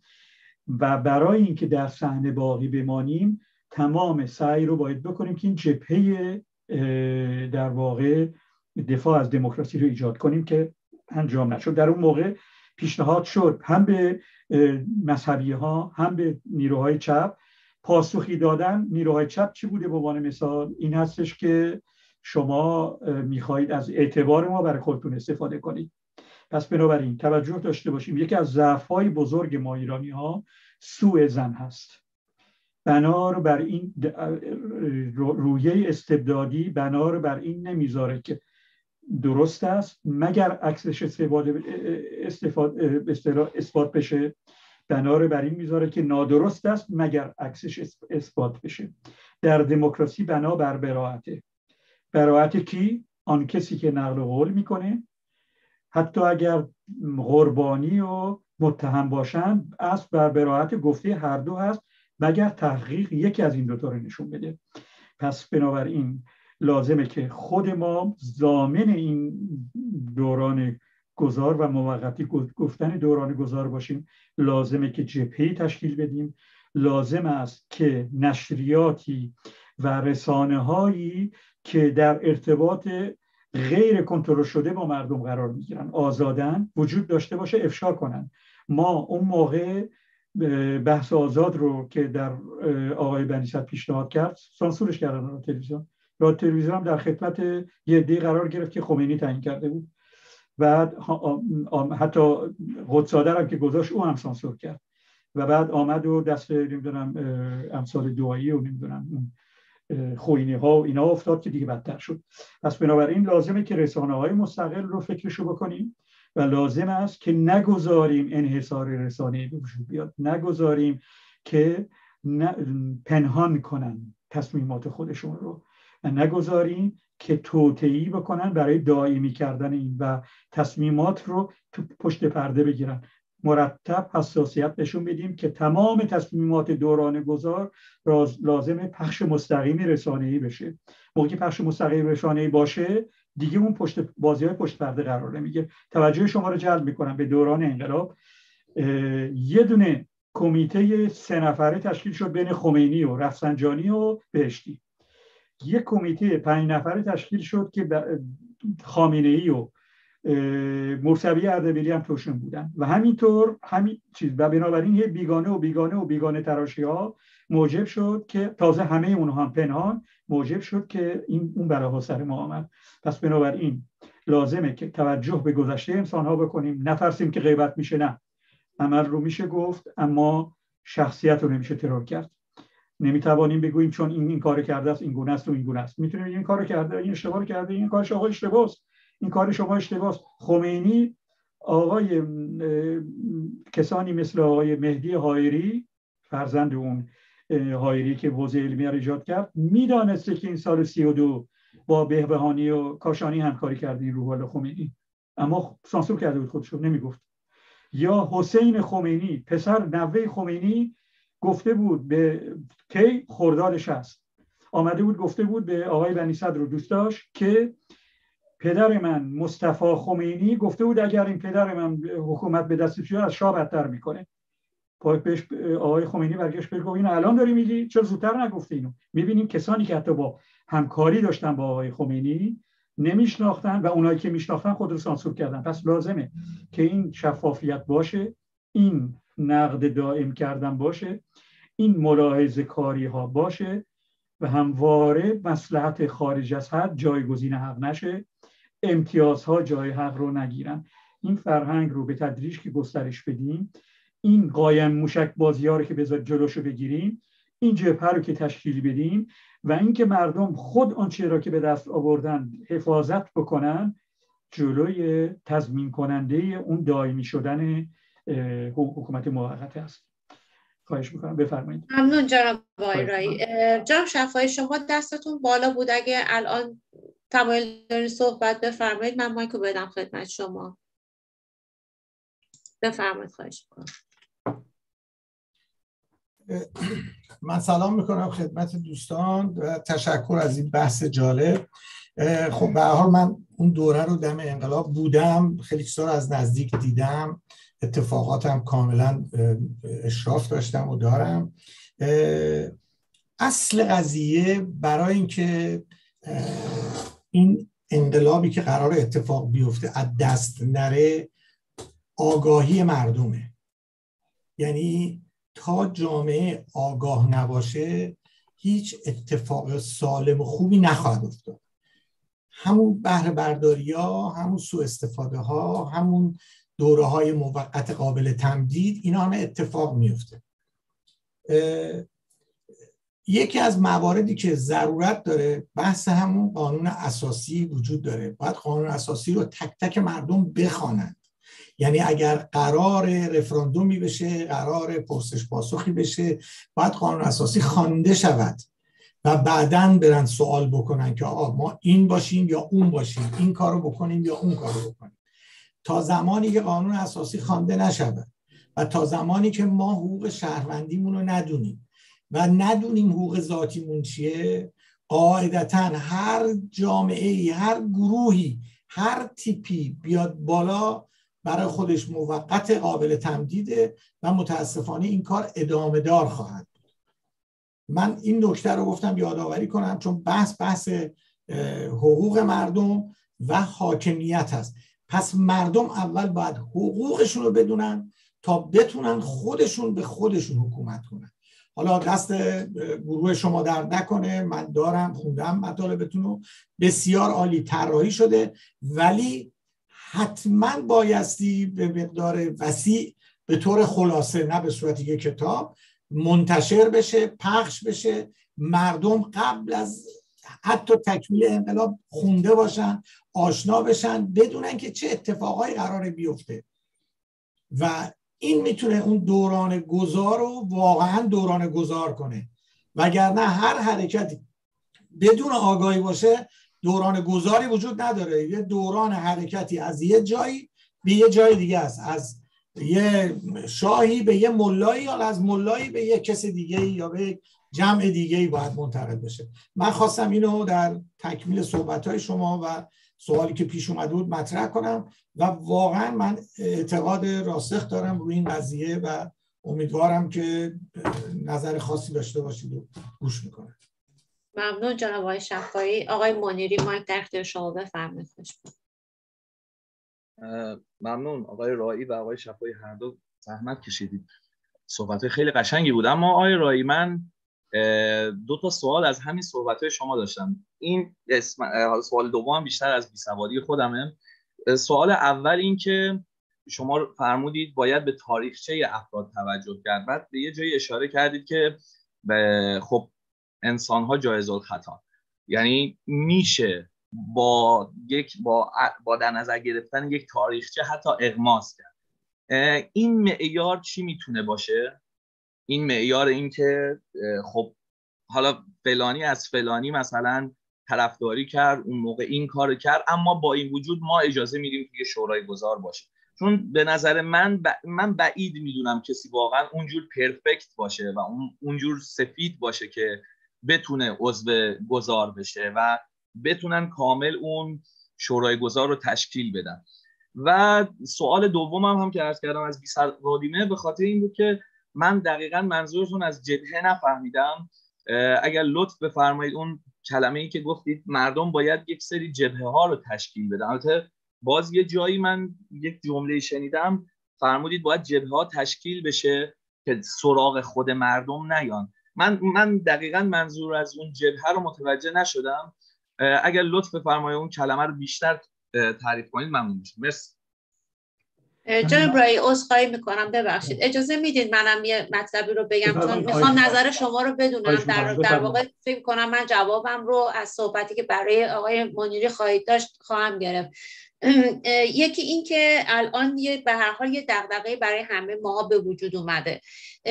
دو تا دسته الان در واقع صورت گرفته. یک دسته کسایی هستن که 44 ساله در واقع استبداد زده هستن و سانسور شدن. همیشه نسل های قبل از هفتاد یعنی 60 50 40 و ما با یه نسل جدیدی هم که دهه هفتاد و هشتاد هستش مواجه هستیم. خب من از گذشتگان یعنی حالا نسل های هم نسل های خودم و نسل های گذشته بیشتر دارم این رو میشنوم که دقدقشون دقیقا همینه که دخالت های در واقع کشورهای خارجی پشت این قضیه باشه و دغدغه اینو دارن که باز اون اتفاقات نیفته. چه طبق فرمایشی که شما داشتین تو بحث قبلی صحبت از تلویزیون ها و رسانه هایی کردید که ممکنه در واقع یه دخالت های از طرف سیاست های خارجی داشته باشه یا دولت های خارجی. اولی که می‌خواستم بگم چطور میشه. یکی این که این نسل جوان هفتاد و هشتادی الان که میشنون اما گوش نمیدن رو. با عقاید و افکار چهل سال یا پنجاه سال یا سی سال قبل هم آشناشون کرد. و شاید در, در جریان قرار گذاشتشون و یکی اون افکار مایی که مثلا نسل 60 و 70 50 و 40 هستیم رو چطور می‌تونیم از این افکاری که در واقع 44 سال استبداد زده بوده و بسته بوده و سانسور شده بوده آزادش کنیم؟ که حالا برنگردیم دوباره به این مسئله که باز هم دخالت های کشورهای دیگه بیاد و بخواد کشور ما رو به جوری مدیریتش رو در دست بگیره. به این صورت. ممنونم. اصلا می‌خوام سیاست خیلی ممنون. مرسی. نکاتی که مطرح کردین همش درسته. یعنی خود قسمتی از سوال ها در خود جواب هست. با وجود بر این من همراهی می‌کنم. من با آقای شفایی کاملا موافق هستم که آگاهی لازمه و این گونه همراهی مو ادامه میدم که لازم است که آگاهی همراه با خداگاهی بشه. منظورم چه هست؟ انسان می‌تونه مطالعه کنه اطلاعات زیادی رو بگیره انسان می‌تونه آگاهی های زیادی رو بگیره اما لازم است که این آگاهی ها به صورت حقوقی یا قراردادی نهادینه بشه در درون انسان به فرهنگ در درون انسان تشکیل بده به حالت یک اطلاع یا یک احساس باقی نمانه پس موقعی که از آگاهی داریم صحبت می‌کنیم داریم از خداگاهی انسان از نهادین شدن و ملکی ذهن شدن مفاهیم هم صحبت می‌کنیم. یعنی لازمه که ما علاوه بر اینکه آگاهی می‌گیریم این فرهنگ حقوقی خودمون رو هم گسترش بدیم. حقوقی که داریم اینها رو نسبت بهش در واقع وجدان پیدا کنیم. آنچه را که فراموش کرده ایم و یا اینکه تمرین نکردیم روش تمرین کنیم. و بنابراین من نگفتم آقای منصوری جپه های مختلف. من گفتم جپه آزادی تشکیل بدیم. جپه دفاع از دموکراسی و حاکمیت مردم تشکیل بدیم. حاکمیت مردم میگم منظورم رژیم مردم هست. رژیم هم کلمه رژیم که به کار می‌برم نهادینه شدن نظامی هستش که دیگه بسته شده و در واقع شکل و ساختار پیدا کرده. پس بنابراین موقعی که من می‌گویم جبهه تشکیل بدیم منظورم این هستش که سازمان ها و احزابی که به دموکراسی اعتقاد دارن شخصیت هایی که به دموکراسی اعتقاد دارن گروه هایی مثل همین گروه شما به دموکراسی اعتقاد دارن با کسانی که هم فکر هستند در این حقوق جبهه مشترک تشکیل بدن. به این صورت که هر سازمان نهادی علاوه بر حقوق یک سری معیارهای درونی بین خودشون داره. مثلا یه سری قرارداد داره بین خودشون. یا یه سری به اصطلاح سلیقه ها رو به البته من من سلیقه تعریف جهان شمول نداره. یه سری کارهایی رو اجرا کردن یه سری کارهای مشخصی رو می‌کنن. اینها یا حتی از سازمانهایی ممکنه ایدئولوژیک باشن و بخوان ایدئولوژیک خود بیان خودشون رو حقوقیش کنن. اینها لازمه رو اصول مشترک حقوقی با هم همکار شن. و یا اگر این همکاری جبهه‌ای رو ندارن موازی عمل کنن. پس بنابراین کسانی که پشت به دموکراسی کرده بودن اگر می‌خوان با اونایی که دموکراسی رو قبول دارن همکاری کنن بهتری دورانی همکاری موازی داشته باشن تا اگر درست عمل کردن بعد با هم همکاری جبهه‌ای بشن. به عنوان مثال کسی که میگه من طرفدار دموکراسی هستم به طور خود به خود داره میگه که به استقلال و شعور مردم برای اینکه این دموکراسی رو اداره کنن اعتقاد دارن پس بنابراین نمی‌تونه اصل استقلال زیاد زیر پا بذاره. بنابراین یک شخصیت شناخته شدی میگه من دموکراسی رو می‌خوام. بعد میره به از نماینده نمی‌دونم مجلس نمایندگان امریکا سوال می‌کنه که خب ما با این پاسدارا چیکار کنم؟ این نقص کرده. این نشون میده دموکراسی رو تمرین نکرده. پس لازمه که دورانی همه با هم سعی کنیم که جبهه مشترک تشکیل بدیم. عقاید خودمون سر جای خودش. همکاری هایی برای دفاع از حاکمیت مردم یعنی جمهوری داشته باشیم. از دموکراسی داشته باشیم از آزادی داشته باشیم از حقوق انسان و طبیعت و حقوق مدنی و اینها داشته باشیم و منظورم این بود. اما در مورد این مطلب که ما چگونه می‌توانیم در مقابل دخالت قدرت های جهانی مقاومت کنیم راه حل همینه که دیروز به صورت خلاصه گفتم الان باز می‌کنم. هرگاه وارد روابط قوا شدیم مسلم در شبکه جهانی قدرت قرار می‌گیریم. بنابراین لازمه که از روابط قوا و تقابل خارج بشیم برویم در رابطه حقوقی. توضیح میدم. به طور خیلی باز ما دو نوع رابطه انسانی داریم. یا رابطه تقابلی داریم یا رابطه درهمی داریم. هیچ رابطه به که یا این نباشه یا اون نباشه وجود نداره. رابطه تقابلی رابطه هستش که من یک محور اینجا تعیین می‌کنم یه محور این رو در رابطه با این این میسنجم بعد یکی از این محورها میاد حاکم میشه بر اون محور و یا اینکه جا عوض می‌کنم. یعنی یا در, در رابطه قوا بر اساس سنویت تک محوری عمل می‌کنم و یا بر اساس سنویت تک دو محوری عمل می‌کنم. اما حالا این توضیح داره این خودش بحث منطقی و فلسفی است. سیلوژیسم سیلوژیسم اونی لاترال یا بیلاترال همین اینا رو لازمه که می‌تونین مطالعه کنیم پیداش کنیم با همین لغت هایی که گفتم. و اما رابطه حقوقی رابطه در همی هستش. مردی در زنی هستم زنی در مردی هستم. من در دیگری هستم در دیگری در من هست. این رابطه حقوقی است. این رابطه همدلی هستش. در این رابطه هست که من می‌توانم عدم دخالت رو پایدار نگه دارم.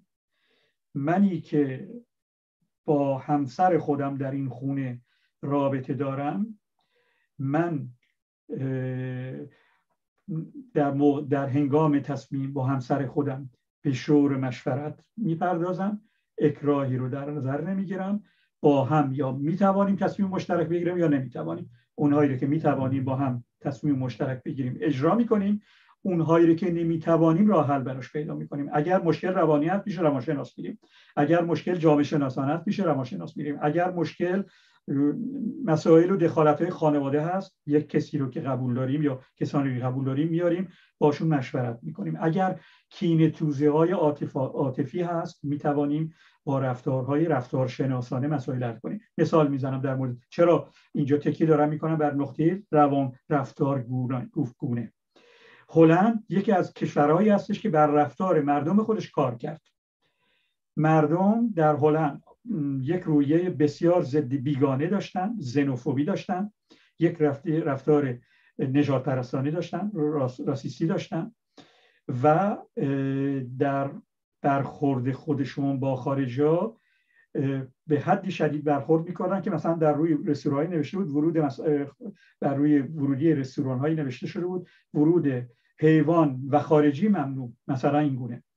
آمدن بر روی رفتار نه مانتالیته نه خلق خوی طولانی مدت نهادینه شده کار کردن و هلندی ها رفتار خوبی پیدا کردن که چند سال پیش چندین سال پیش یک نظرسنجی از اروپایی ها به عمل آمد که کدوم کشورهای اروپایی رو شما رفتار مردمش قبول دارید اول شد هلند دوم شد آلمان.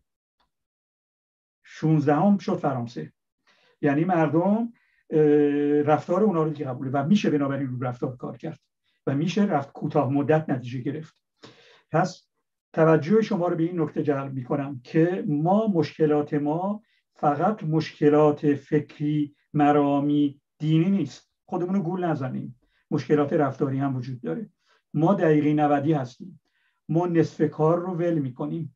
ما ترور شخصیت می‌کنیم به جای نقد. به جای اینکه عملی رو نقد کنیم می‌گوییم به این علت او این گونه است. همچین موجود نمی‌دونم والایی هست یا موجود پستی هست. این ترور شخصیت رو بین ما رواج, رواج داره. ما سوء زن داریم. به جای شک کردن تحقیق کردن برنامه ریزی کردن تشخیص دادن سوء زن پیدا می‌کنیم یا حسن نیت پیدا می‌کنیم. یعنی خوشبین یا بدبین هستیم به جای واقع بین بودن خوشبین و بدبین میشیم. اگر خوشبینیم که بنابراین تمام اطلاعات برای نسبت به اون آدم مثبت. می‌کنیم و سعی می‌کنیم منفی رو نبینیم. اگر بدبینیم نسبت به اون آدم تا فرافکنی روانکاوانه هم پیش میریم. که فلان کس بد است و بنابراین به علت اینکه این فلان کس بد است این شخص هم همون گونه بد است و این کارهای ارادی رو هم می‌کنیم. پس بنابراین ضعف های خودمون رو لازم توجه کنیم اما نکات مثبت خودمون رو میزان و پایه و در واقع مبنا قرار بدیم برای تصحیح اونا. پس بنابراین توجه می‌کنیم که همینطوری که ببینین الان با سلام به آقای صدارت. آقای صدارت هم در اون کمیسیون دوران گذار تشریف داشتن. و سوال در مورد همین کمیسیون دوران گذار هست که چجوری از موقت به دائمی تبدیل نشه که توضیح دادم. که لازمه که جبهه آزادی تشکیل بدیم در صحنه بمانیم. و بنابراین در اینجا توجه داشته برای مقابله با دخالت های خارجی همواره لازمه در حقوق رابطه حقوقی بمانیم. و وارد روابط قوا نشیم. در روابط قوا چه کار می‌کنن؟ شبکه شراکتی پیش میارن. در حقوق چه کار می‌کنیم؟ رابطه دوستی پیش میاریم.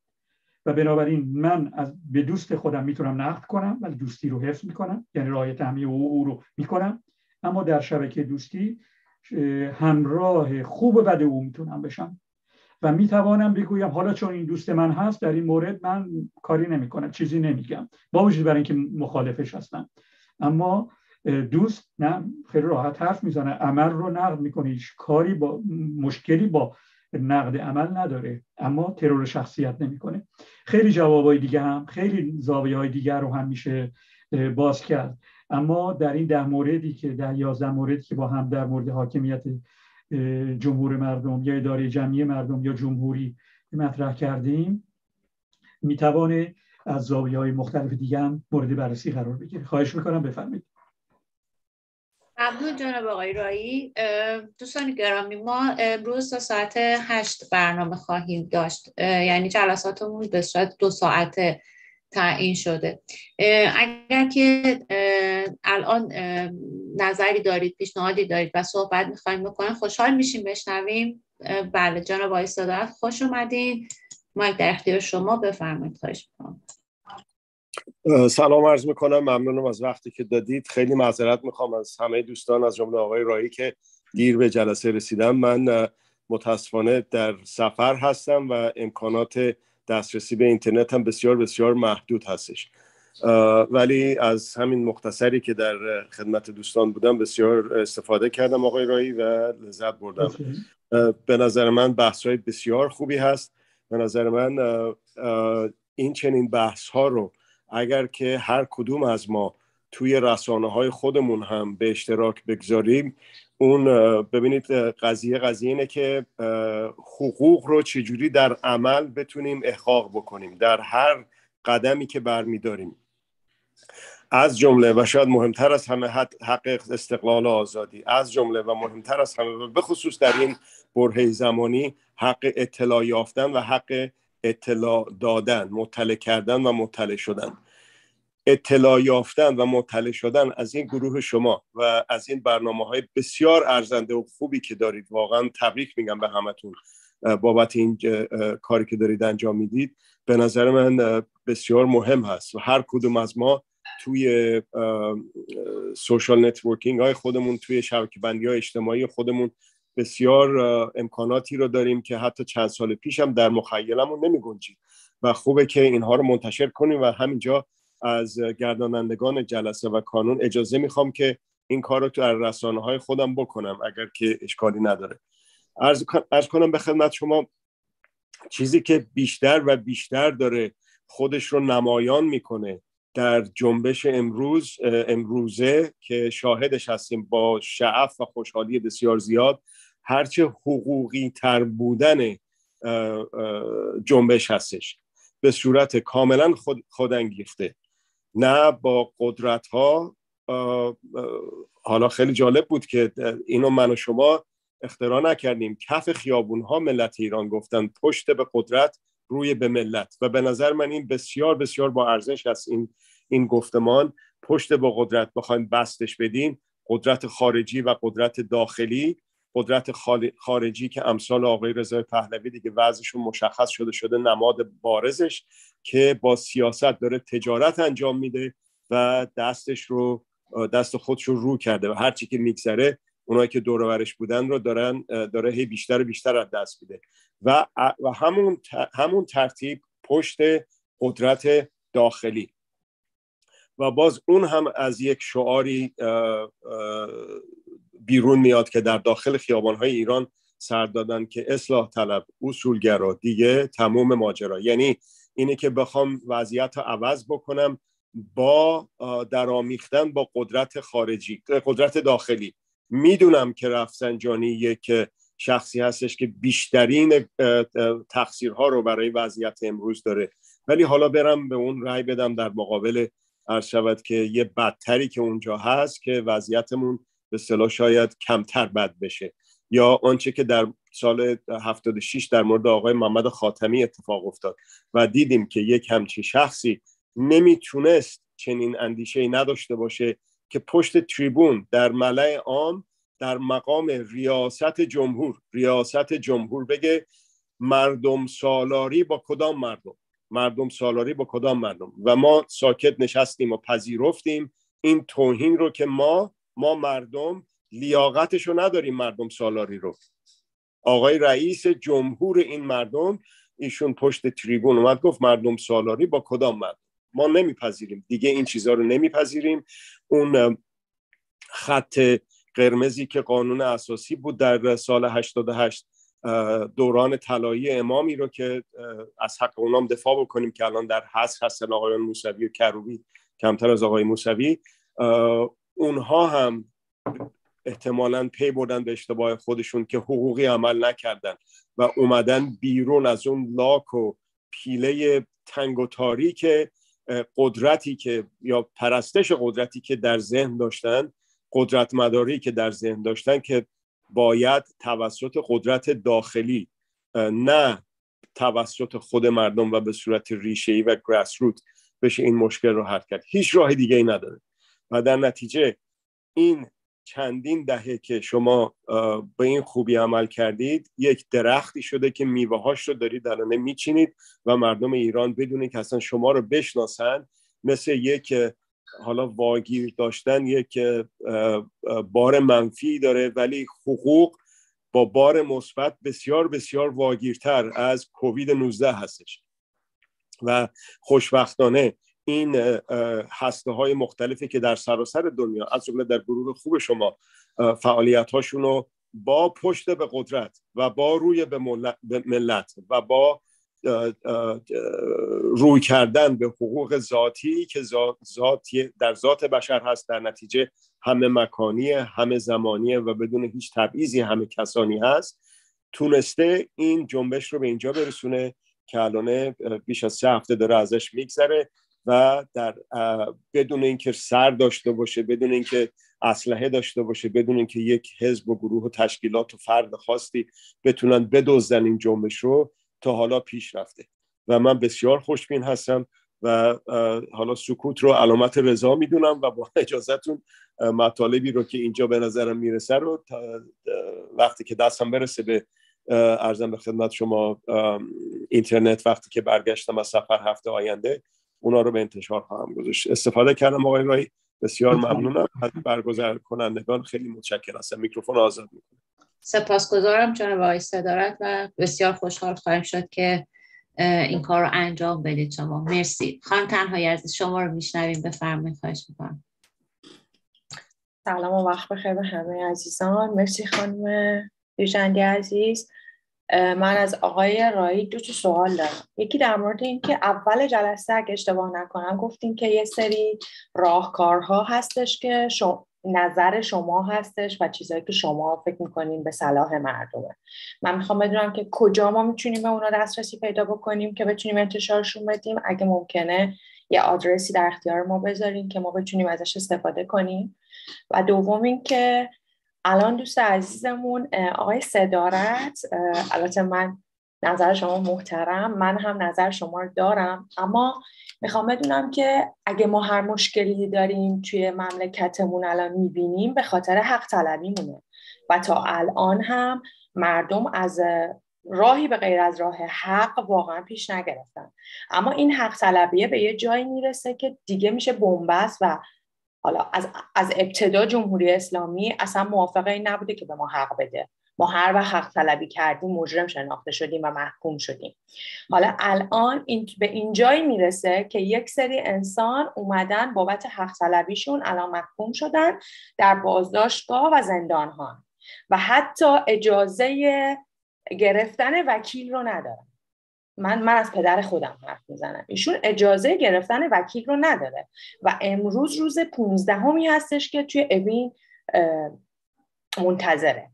می‌خوام بدونم اینجا ما از دستمون واقعا کاری برمیاد. حق طلبی تا یه جایی بله با جمهوری اسلامی جواب میده ولی بقیه داست بقیه راه چی میشه؟ ببینید از دیروز تمام این تظاهرات نمیگم تمام بله تو محیط های بسته که نتونن به مردم آسیب بزنن و شلیک کنن مردم دارن اعتراضات خودشونو می‌کنن. در فضای مجازی مردم دارن اعتراضات خودشونو می‌کنن.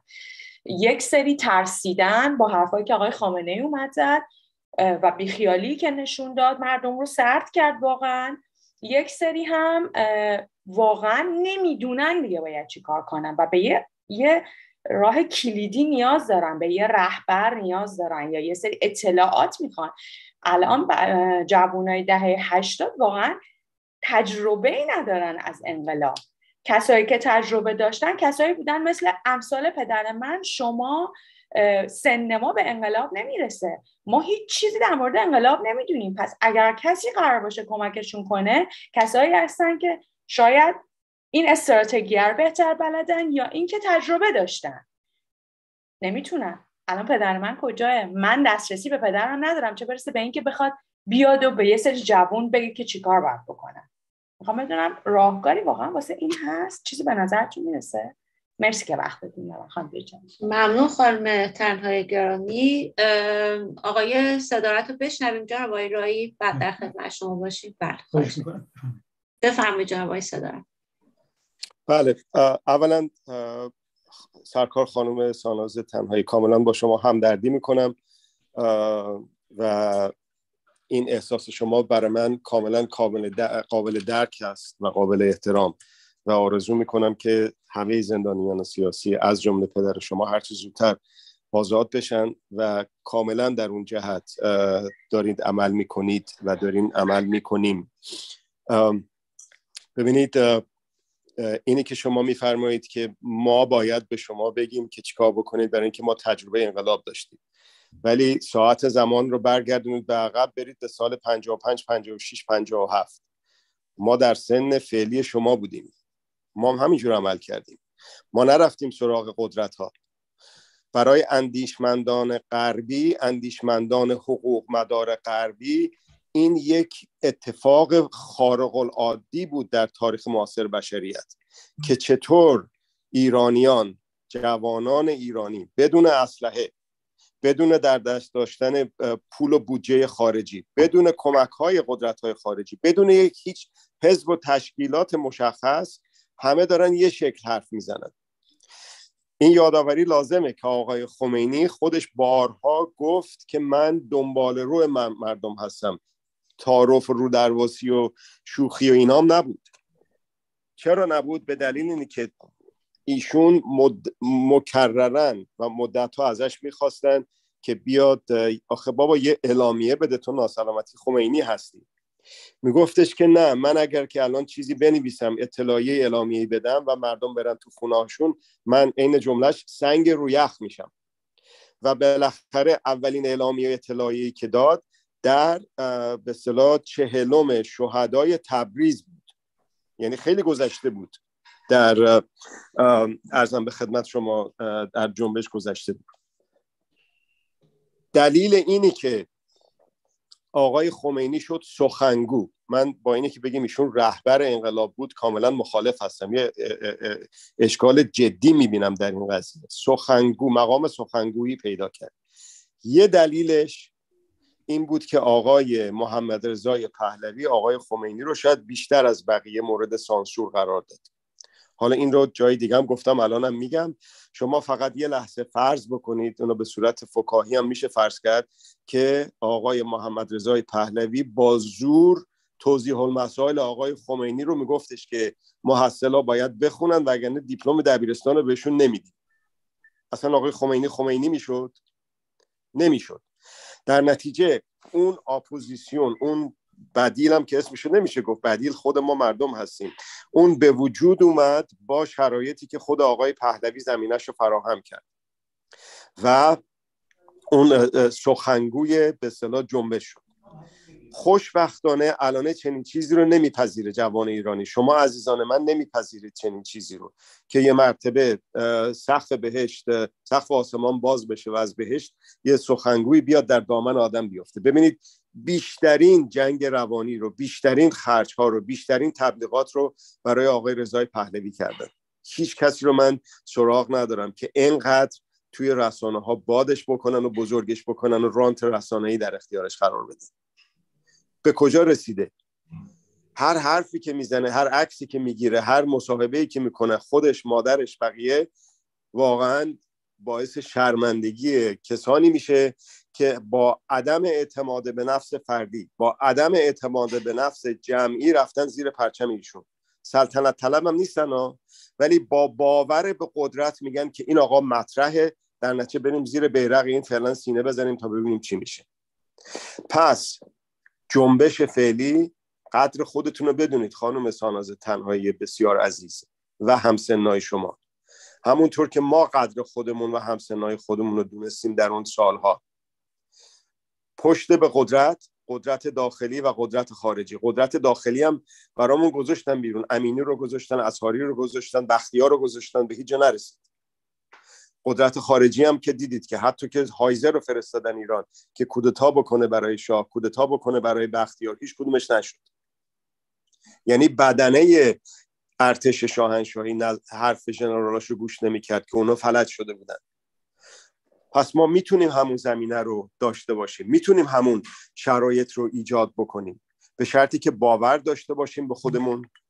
دنبال این نگردیم که یه کسی بیاد ما رو رهبری بکنه.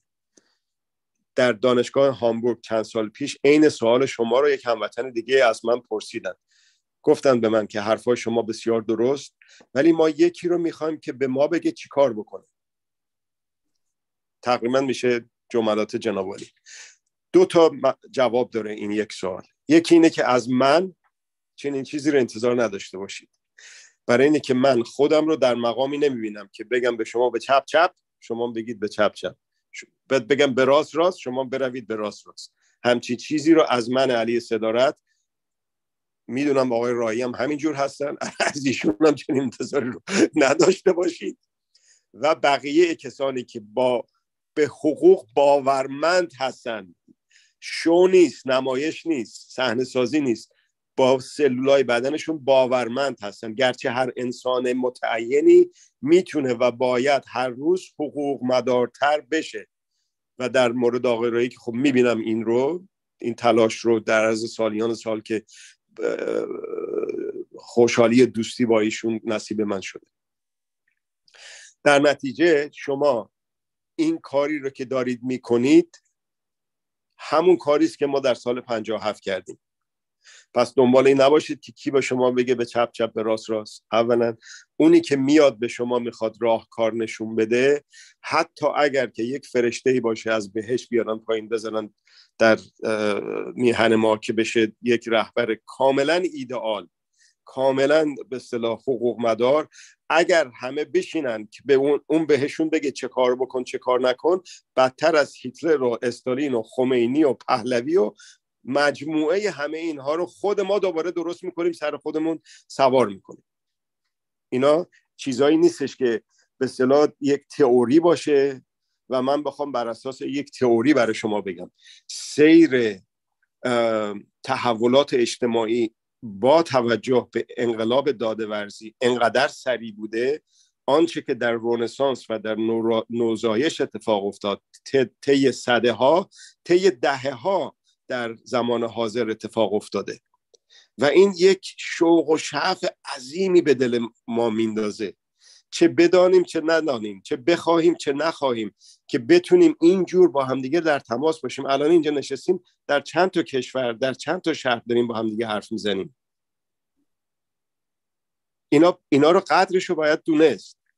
الانه در به اصطلاح جوشش و تلاش در اون به اصطلاح اون هیجان انقلاب هستیم. خودمون متوجه نیستیم. اون چیزهایی که خودمون داریم رو متوجه نیستیم. آنچه خود داشت بیگانه تمنا می‌کرد مستاق بسیار بارزه همین این چیزی هستش که بعضی از جوانها میگن. به خصوص که بعضی از جوانها که مثل دل شما دلشون به درد آمده برای اینکه عزیزشون گرفتار شده یا بدتر از اون صدمه دیده جراحتی دیده یا جونش از دست داده. اون موقع احساسات می‌تونه بر آدم غلبه بکنه.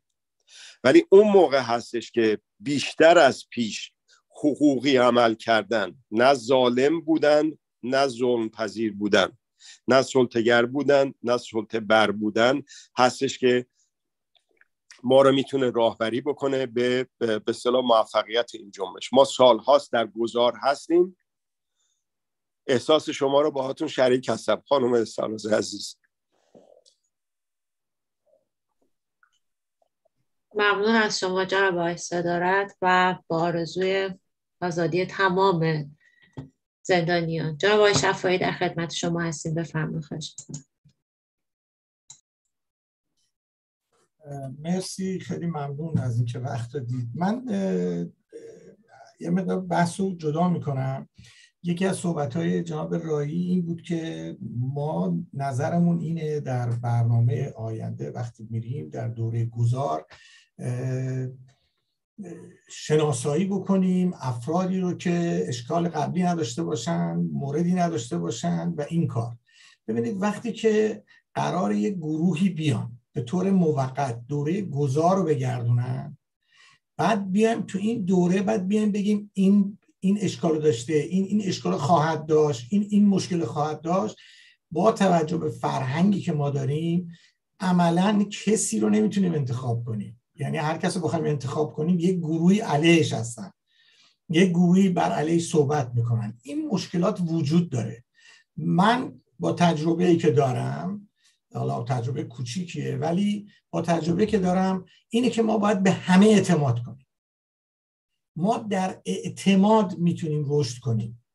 چرا؟ وقتی جامعه آگاه هست و اعتماد می‌کنیم به همه خود به خود همون جامعه آگاه اون افرادی رو که قرار یه جایی سمی وارد کنن صدمه رو بزنن بلا فاصله اون جامعه آگاه حذفش می‌کنه.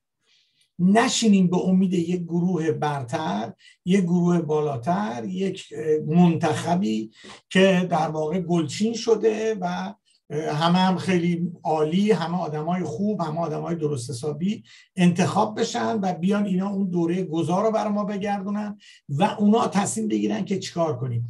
من پیشنهادم این هستش که حالا تو طرحی که دارید یه نگاه دیگه ای بکنید به این قضیه که حتما از بر اعتماد و اعتماد در اداره کردن در کنترل کردن. یعنی اعتماد هست نگاه هم هست کنترل هست. چرا جامعه آگاهه؟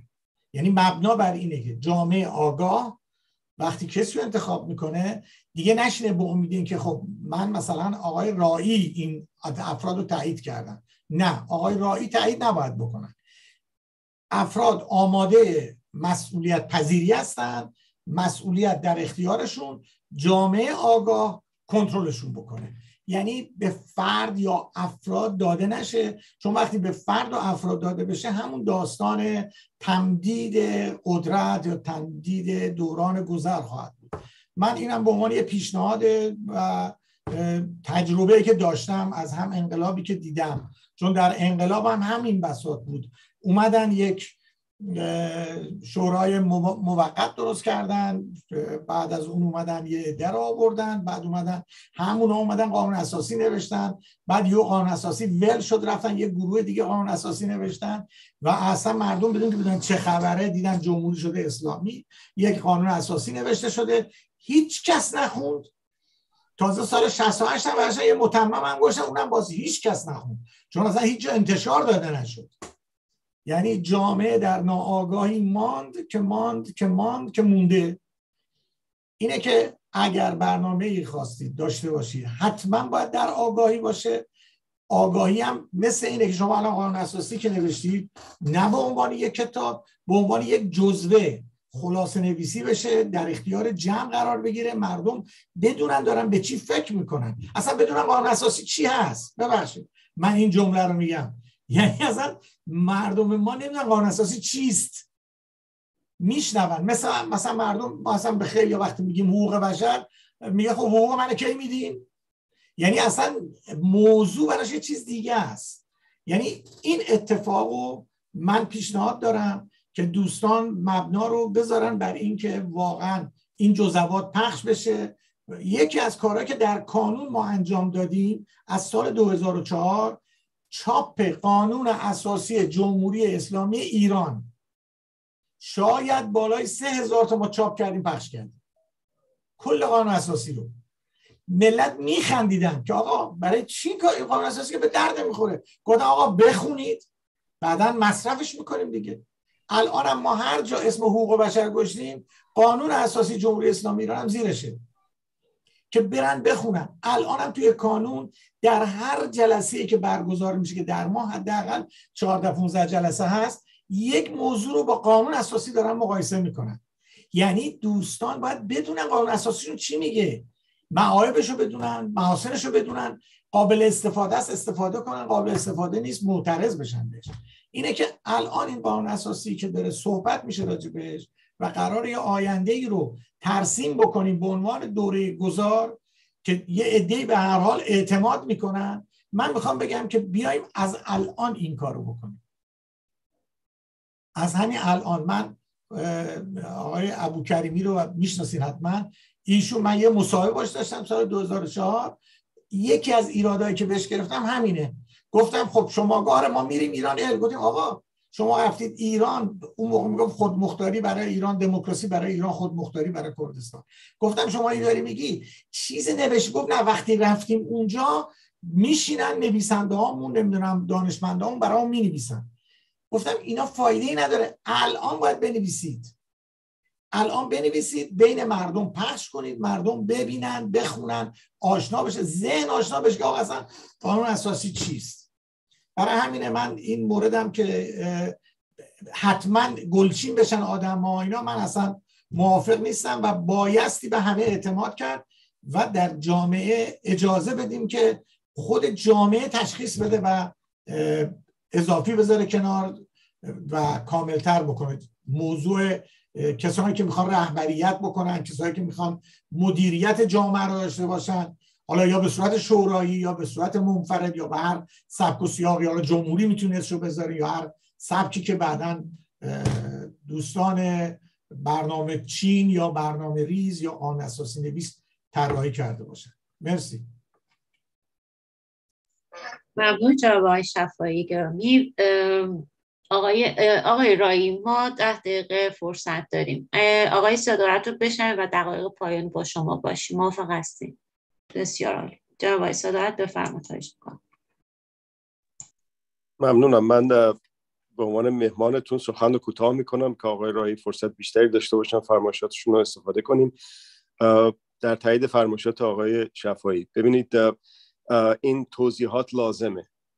اینه که انتظار داشته باشیم که تمام مردم ایران دکترای علوم سیاسی داشته باشن. این در مورد مردم ایران که هیچی در مورد هیچ ملتی نمی‌تونه درست باشه و باید توضیح داده باشه. ولی مردم ایران لایه های مختلفی دارن. از درک و استنباط مثلا مثالی که شما فرمودید قانون اساسی. و همچنین در مورد مسئله ای که در دوران گذار دوران گذار به نظر من الان توش هستیم. ولی اون چیزی که مد نظر هست سقوط فیزیکی که داره هرچه نزدیکتر و نزدیکتر میشه از سقوط فیزیکی تا برقراری یک به دولت پایدار نه موقت. در اون موقع چجوری مدیریت باشه اون یکی از مواردی است که استراب بسیار زیادی در اسهان انداخته همین قدرت داخلی سپاه پاسداران اطلاعاتی امنیتی ها که اگر که این ما بد هستیم ما سپاه پاسداران بد هستیم اگه ما بریم؟ ولی آسمون به زمین می‌رسه و زمین با آسمون دنیا از بین میره ایران و سوریه ای میشه این حرفا. ولی اینم توجه باید داشته باش که واقعا در عمل دیدیم که هر یک روزی هر یک روزی که به ادامه عمر این رژیم میگذره خطر سوریه‌ای تر شدن و اوکراینی تر شدن ما بیشتر و بیشتر شده. در تایید پیشنهادی که آقای شفایی فرمودن من این کار رو در یک گروهی که همشون هم نمی‌دونم واقعا کی هستن از ایران دعوت کردم. همشون هم لاغر اونا که تو ایران هستن اسم مستعار دارن. هفته ای دوشنبه ها یک روز جلسه داشتم. 20 تا جلسه بود در مورد همین مدیریت مردمی دوران گذار و اون سند پیشنهادی که به اصطلاح کار شده روش به عنوان پیشنهاد سند اساسی دوران گذار برای انتقال حاکمیت به ما مردم ایران. اون در سایت من هست و میشه بهش رجوع کرد. ولی میشه بیشتر بحث کرد. سوال هایی که پیش اومد کامنت هایی که پیشنهادات که پیش اومد خیلی مفید بود و اونو من استفاده کردم در روشنگری بیشتر. ولی این جمع یه جمع دیگه است و اینه که این بحث شروع شده و داره راجبش صحبت میشه. بسیار به نظر من عزیز هست. ولی این سنت ها سال چند سال راجبش کار شده واسه کسانی که امتحان خودشون توسط کسانی که امتحان خودشون رو در عدم وابستگی و حقوق مداری دادن. ولی بازم میگم یک سری آدم ها هستن با تعین و محدودیت های هر انسان دیگه ای و در نتیجه اونو میشه نقد کرد میشه کم و کاستیاش رو حذف کرد و میشه اضافاتی که لازم داره رو بهش اضافه کرد.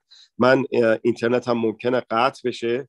کلام آخر اینه که در شرایط بسیار حساسی داریم زندگی می‌کنیم در شرایطی که کشورهای دیگه با اعتماد به نفس فردی و اعتماد به نفس جمعی مثال هایی رو که الان براتون اینجا ارائه میدم سودان 16 هفته الجزایر 8 هفته گرجستان 20 روز مصر 18 روز تونس 10 روز رومانی 8 روز و فیلیپین 4 روز تغییر تحولات اصولی و عمده در کشورشون فراهم کرده.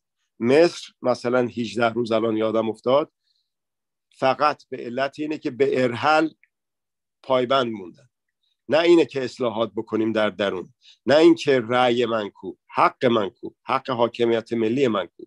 و اگر که باز در پیرو صحبت همون با خانم تنهایی اگر که در این زمینه ادامه پیدا بکنیم که حق حاکمیت ملیمون رو ما می‌خوایم اینطور نیستش که در یک کلاب هاوسی بودم یه خانومی گفتش که ما بنز کافی سرصدا کردیم بیایم از رژیم بخوایم که هجاب رو اختیاری بکنه. بعدم دیگه موقعش که بریم تو خونمون. یه جوان بود یه دختر خانومی بود. واقعا شگفت آفرین و تأسف آفرین بود برای من. خوشحالم که در چنین جمعی چنین بحثی نیست. حالا اون خانوم رو میشه با دوستی با عشق با محبت نظرش رو نقد کرد و به چالش کشید که نه. اون وقت نمی‌تونیم بگیم که ما سرنوشته به صلاح خوب و خوبتری رو برای خودمون رقم خواهیم زد. برای اینه که حق رو براش محدودیت قائل شدیم. حالا من حق هجاب رو داشته باشم تا بعد ببینم اختیاری باشه یا نباشه بعدا چجوری میشه. لازم به توضیح زیادی در این جمع نمی‌بینم در این زمین خوشبختانه. ولی همونطور که آقای شفایی به درستی فرمودن این در لایه های مختلف جامعه در درون و حتی در خارج از ایران هم صدق نمی‌کنه. بنابراین تکرار این مسائل به نظر من بسیار مهم هست و به محض اینکه دستم برسه به اینترنت اون سند اساسی دوران گذار رو می‌تونم در اختیار شما دوستان بزنم و از وقتی که به من دادید متشکرم و میکروفون رو آزاد می‌کنم. روزتون بخیر. ممنون جناب آقای صدارت متشکر از حضورتون در این جمع. جناب آقای در خدمت شما هستیم. بفرمایید. و ما سپاس, سپاس از اینکه در گفتگوها شرکت می‌کنید نظرات خودتون رو میگید نقد می‌کنید پیشنهاد می‌دید برای گفتگو هم همینه. وسیله دموکراسی هم همینه. گفتگو وسیله دموکراسی است. و آقای صدارت از صحبت شما خیلی ممنون. من الان قانون اساسی پیشنهادی رو گذاشتم که اون دوران گذارم توش هست. خانم تنهایی خواستن که بدونن. در رابطه با صحبت صحبت هایی که تایید می‌کنم دیگه خیلی از مسائلی که گفتین تایید می‌کنم و چند نکته رو اضافه می‌کنم. اینکه چه کار بکنیم خانم تنهایی؟ این هستش که نصف ول نکنیم. سال 88 ایرادها گفته شد توجه به اندازی کافی نشد و ول شد. در اون جنبش 178 نفر رو رژیم به قتل رساند. ولی بعد از اون که جنبش خوابید به مراتب بیشتر از هزار نفر رو کشت این رژیم. پس قدرت انتقام گیره و لازمه که ما بدانیم می‌توانیم و در توانایی خودمون به طور مستمر شرکت کنیم. جنبش توجه به یک نکته اساسی یک ارزش اساسی ما ایرانی ها داشته باشیم. 1979 برابر با 1357 ایرانی اولین کشور دنیا بودیم که توانستیم در دوران معاصر با جنبش عمومی پیروز بشیم. حالا بماند که این جنبش حالا عمومی هم نبود جنبش هایی داشتیم در زمان مشروطه تا حالا. سال 57 ما نشون دادیم با جنبش عمومی می‌توان پیروز شد. اون زمان مشی چریکی مد بود. کشورها دنبال این بودن که در واقع با مبارزه مسلحانه این کار کنن. می‌دونید که در مقدمه اعلامیه جهانی حقوق بشر هم هست که لازم از کشورها کار رو به جایی نرسانند که کار با با در واقع اعتر... من میگم اعتراض کلمه یادم رفته. در واقع با یک تغیان حل بشه. چرا؟ بنابراین می‌بینید که با همین جمله به رسمیت می‌شناسه حتی مبارزه‌ای که در اون رژیم رو می‌تونیم سرنگون بکنیم. ولی ما اون موقع متوجه شدیم که این مشی چریکی ایراد داره. اون چیزی که در کوبا نتیجه داده در کشور دیگه نتیجه نداد اون هسته تشکیلی می‌تونه نتیجه برای اینکه اون طرف دشمن که بیکار نیست. اون هم راه های مقابله پیدا می‌کنه. جنبش عمومی است که راه حل مقابله نداره. الان هم در تمام کشورهای دنیا جنبش عمومی است. چهار سال بعد در فرانسه جنبش عمومی شد. 1904 سال خوردی پنج سال بعدش. 1984 پشت سرش تمام اروپای شرقی با همین جنبش عمومی سرنگون شدن. و همینطور ادامه پیدا کرد و کشورهای بهار عربی هم همین گونه شد. پس لازمه که ارزش کار خودمون رو بدانیم و بدانیم که در این مورد چون ما اولین کشور بودیم به شدت مورد تنفر قدرت شبکه جهانی قدرت هستیم. و بنابراین حالت انتقام می‌گیرن. این بدشانسی حالا به نظر من بدشانسی نه. بدشانسی اینه که ما اولین هستیم و مبتکرترین بودیم و این راش راه حلی شده که همه جا نتیجه میده و بنابراین ما رو می‌خوام کنترل بکنن. و توجه شما را حالا امشب جلسه کوتاه شد من می‌خواستم یک نظر بسیار منفی سلطگرایانه نسبت به کشورهای زیر سلطه از هگل براتون بخوانم که مرتب اجرا می‌کنن کشورهای سلطگر بر ما که مدرنیته فقط در غرب هست. آنها این رو حالا اگه فرصت شد می‌خونم امشب یا یه شب دیگه براتون می‌خونم. بنابراین لازمه که ما توجه کنیم که مبادا جنبش رو ول بکنیم برای اینکه پشت سرکوب خواهد بود. سرکوب شدیدتر خواهد بود. مبادا توجه بکنیم. در مورد با صحبت های آقا شفایی من این گونه قضیه رو می‌بینم. اصل بر اعتماد هست. مردم نامحرم نیستند مردم می‌توانند و لازم است به مردم اعتماد کنیم و مردم رو پنهان نکنیم از مسائل مربوط به اداره مملکت. برای اینکه مردم هم که باید این کار حاکمیت مال اوناست. ما نمی‌توانیم به بهانی از بهانی ها پنهان کنیم سانسور کنیم عجله کنیم در انتشار. و در این حال مسائلی رو که با مردم می‌خوایم مطرح کنیم برداریم در جاهای از مردم مطرح کنیم نه برای همه مردم. ما لازمه به تمام خطراتی که الان شمردم ده تا از بیستاش رو در مورد حاکمیت مردم رو بدانیم. از جمله چیزهایی که باید بدانیم این هست که همواره رابطه سلطگر زیر سلطه رو باز کنیم. توجه کنیم که اونها می‌خوان ببندن. توجه کنیم که شبکه جهانی قدرت با کشورهای زیر سلطه رابطه توتالیتر و تمامیت خواه دارن. کاری که با عراق کردن اتفاقی نیست. کاری که با افغانستان کردن اتفاقی نیست. آن کاری رو که ما می‌توانیم بکنیم در رابطه با سلطه ها این استش که یک بدیل دموکراتیک رو مرتب زنده نگه داریم. و الا خواهند آمد برای ما بدیل آلترناتیو تقلبی خواهند درست کرد همون کار که در راه کردن. و بلایی رو بیارن سر اون کشور به اسم دموکراسی که آدم به اسم دشمن هم نمی‌کنه. پس بنابراین لازم است که اعتماد کنیم. اصل رو بر این بگذاریم که درست می‌گویید مگر اصل عکسشه این رو در کار فردی هم می‌کنید به عنوان مثال شما بگین رای پشت سرت خرسه. من نباید شک کنم که این حرفی که زد این غلطه. بلکه مگر رو تحقیق کنم یا تجربه های گذشتی که امکان این نیست در من بستم و خونه رو می‌شناسم و اینا رو بگم و بعد بگویم نه. ابتدا به ساکن شک نکنم. سوء به خرج ندم. چون این کار کار غلطی است. ترور شخصیت انسان ها رو نکنم. در رو نبندم که حالا اینا چون اشتباه کردن خیانت کردن و حالا خیانت هم با اون معیارهای خودمون. بلکه بگویم آیا شمایی که این اشتباه رو کردی ترمیم کردی اشتباه خودت رو؟ درمان کردی اشتباه خودت رو؟ و بنابراین شخص من نظرش این است که راحل تنبیه نیست. راحل همدیگر رو ترک کردن نیست. راحل با هم عمل کردنه. اما تفاوت لازم قائل بشیم بین شخصیت حقیقی و شخصیت حقوقی. شخصیت حقوقی که میشه یک میاد مثلا در زمینه سیاسی عمل می‌کنه میشه شخصیت سیاسی. این دیگه زندگی شخصی و اجتماعیش رو لازمه روش فکر کنیم. که کجاهاش رو بگیم کجاهاش رو نگیم. کجاها از اون زندگی شخصیش رو زندگی سیاسیش اثر داره و کجاها نداره. و بنابراین ما که می‌خواهیم عمل بکنیم تاریخچه شخصیت سیاسی رو نشناسیم. همون اشتباهی می‌کنیم که سال 57 کردیم. خمینی رو نشناخته آوردیم.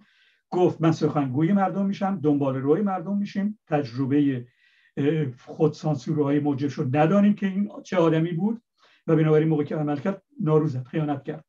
پس اعتماد می‌کنیم اما در همکاری با همدیگه همدیگه رو به ابتلا میکشانیم به آزمایش می‌کشیم. شما می‌توانید من می‌توانم می‌تونم با همکاری بکنم اما من شما رو کنترل نمی کنم شما من رو کنترل نمی کنید اما من مسئولیت خودم رو مرتب به دقت نگاه می کنم منی که دارم با شما همکاری می کنم آیا من و شما با هم نظر مشترک حقوقی رو به اجرا گذاشتیم یا نه؟ پس من همکاری خودم رو حواسم هست. این که شما چی کار می کنترل یک عمل زورگویانه است. کنترل خوب نداریم. این نظر شخصی من ها این باز ممکنه نشده. پس لازمه که توجه داشته باشیم که نقش خودمون رو خوب اجرا بکنیم. احتیاجی نیستش که ببینیم دیگری چه کار می‌کنه. منی که دارم با شما کار می‌کنم برای من این مشکل پیش اومد. مشکل من باید حل شه. اگه حل نشه نمی‌تونم همکاری کنم. پس این نگاه رابطه حقوقی که با هم برقرار می‌کنیم ارزش اساسی و این رابطه در واقع همدلی رابطه اساسی است. حالا چون امشب فرصت نمیشه من خیلی نکات دیگری خود دوستان توضیح دادن آقای شفایی توضیح دادن آقای صدارت توضیح دادن خود خانم تنهایی توضیح دادن. بنابراین همینطور دوستانی که قبل صحبت کردن. بنابراین می‌تونیم جلسه ما رو فرصت مناسبی دیگه ادامه بدیم که و بدانیم تمام خصیصه های حکومت حاکمیت مردم چیست و کجاها می توانیم اون رو تقویت کنیم و کجاها وجود داره می‌تونیم اونا رو.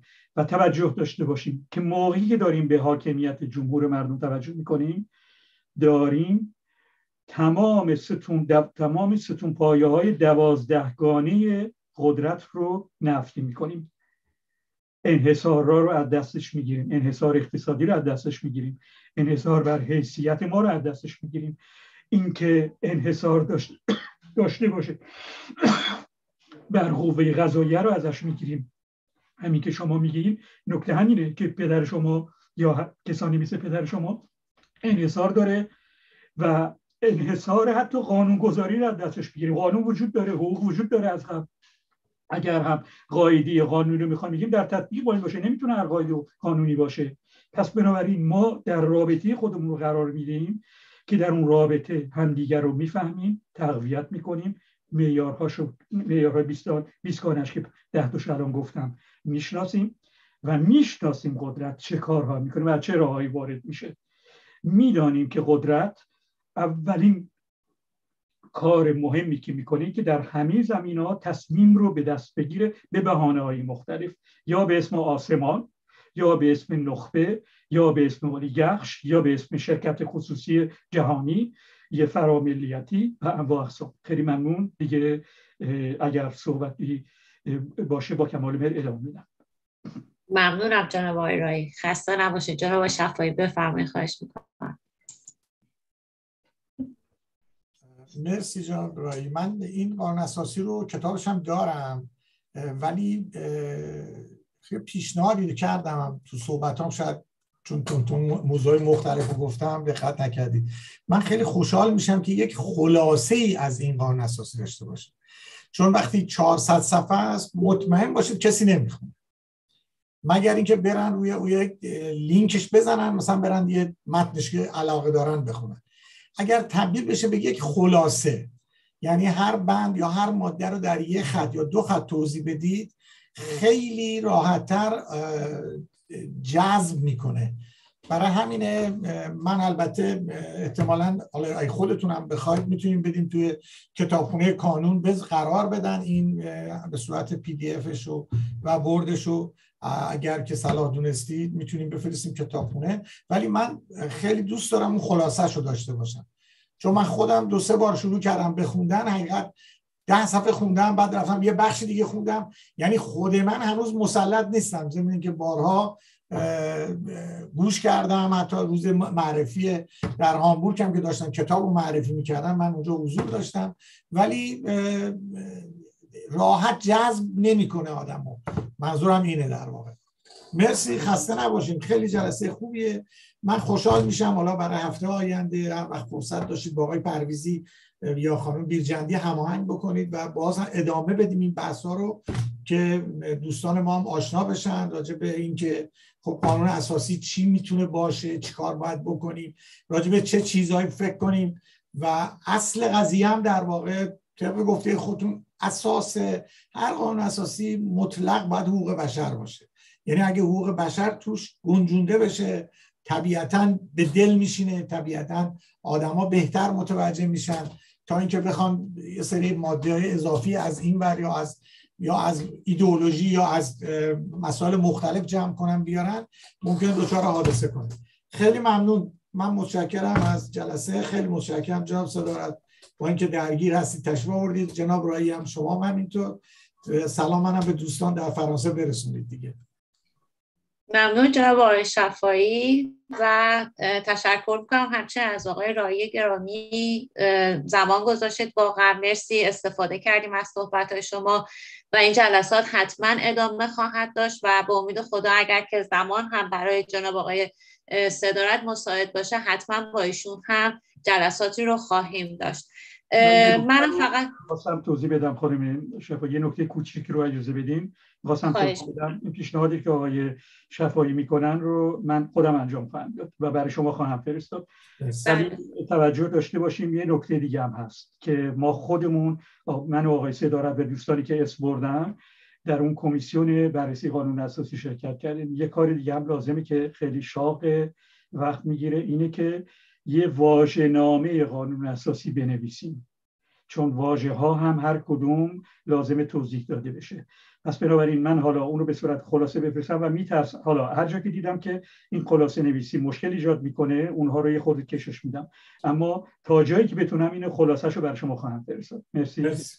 ممنون جناب و مطمئنا بچه های کانون هم خود من به شخصا حتما ازش استفاده کنم و در حالا مدیایی که حالا دارم شخصی منتشرش خواهم کرد. به حال هر کدوم ماها وابستگانی و دوستانی داریم و این خیلی خوب میشه که به دست اون عزیزان هم برسه. خب بسیار عالی جلسه بسیار بسیار خوبی داشتیم. امروز در تاریخ دوازده مهر ماه سال 1401 برابر با 4 اکتبر 2022 با موضوع حاکمیت مردم و دولت حقوقی. مهمان برنامه ما جناب آقای رایی بودن که مفصلا در مورد این موضوع به بحث و نقد و بررسی پرداخته شد. دستندرکاران این جلسه منشی جلسه آقای مصطفی منیری بودند. ضبط صدا و ادمین ها آقای فرشاد عربی آقای حسن حمزه و خانم ستاره دژم. دوستان گرامی فردا هم جلسه در همین اتاق برگزار خواهد شد. خوشحال میشیم که تشریف داشته باشین. و تا روز بعد و جلسه آینده بدرود. خدا نگهدارتون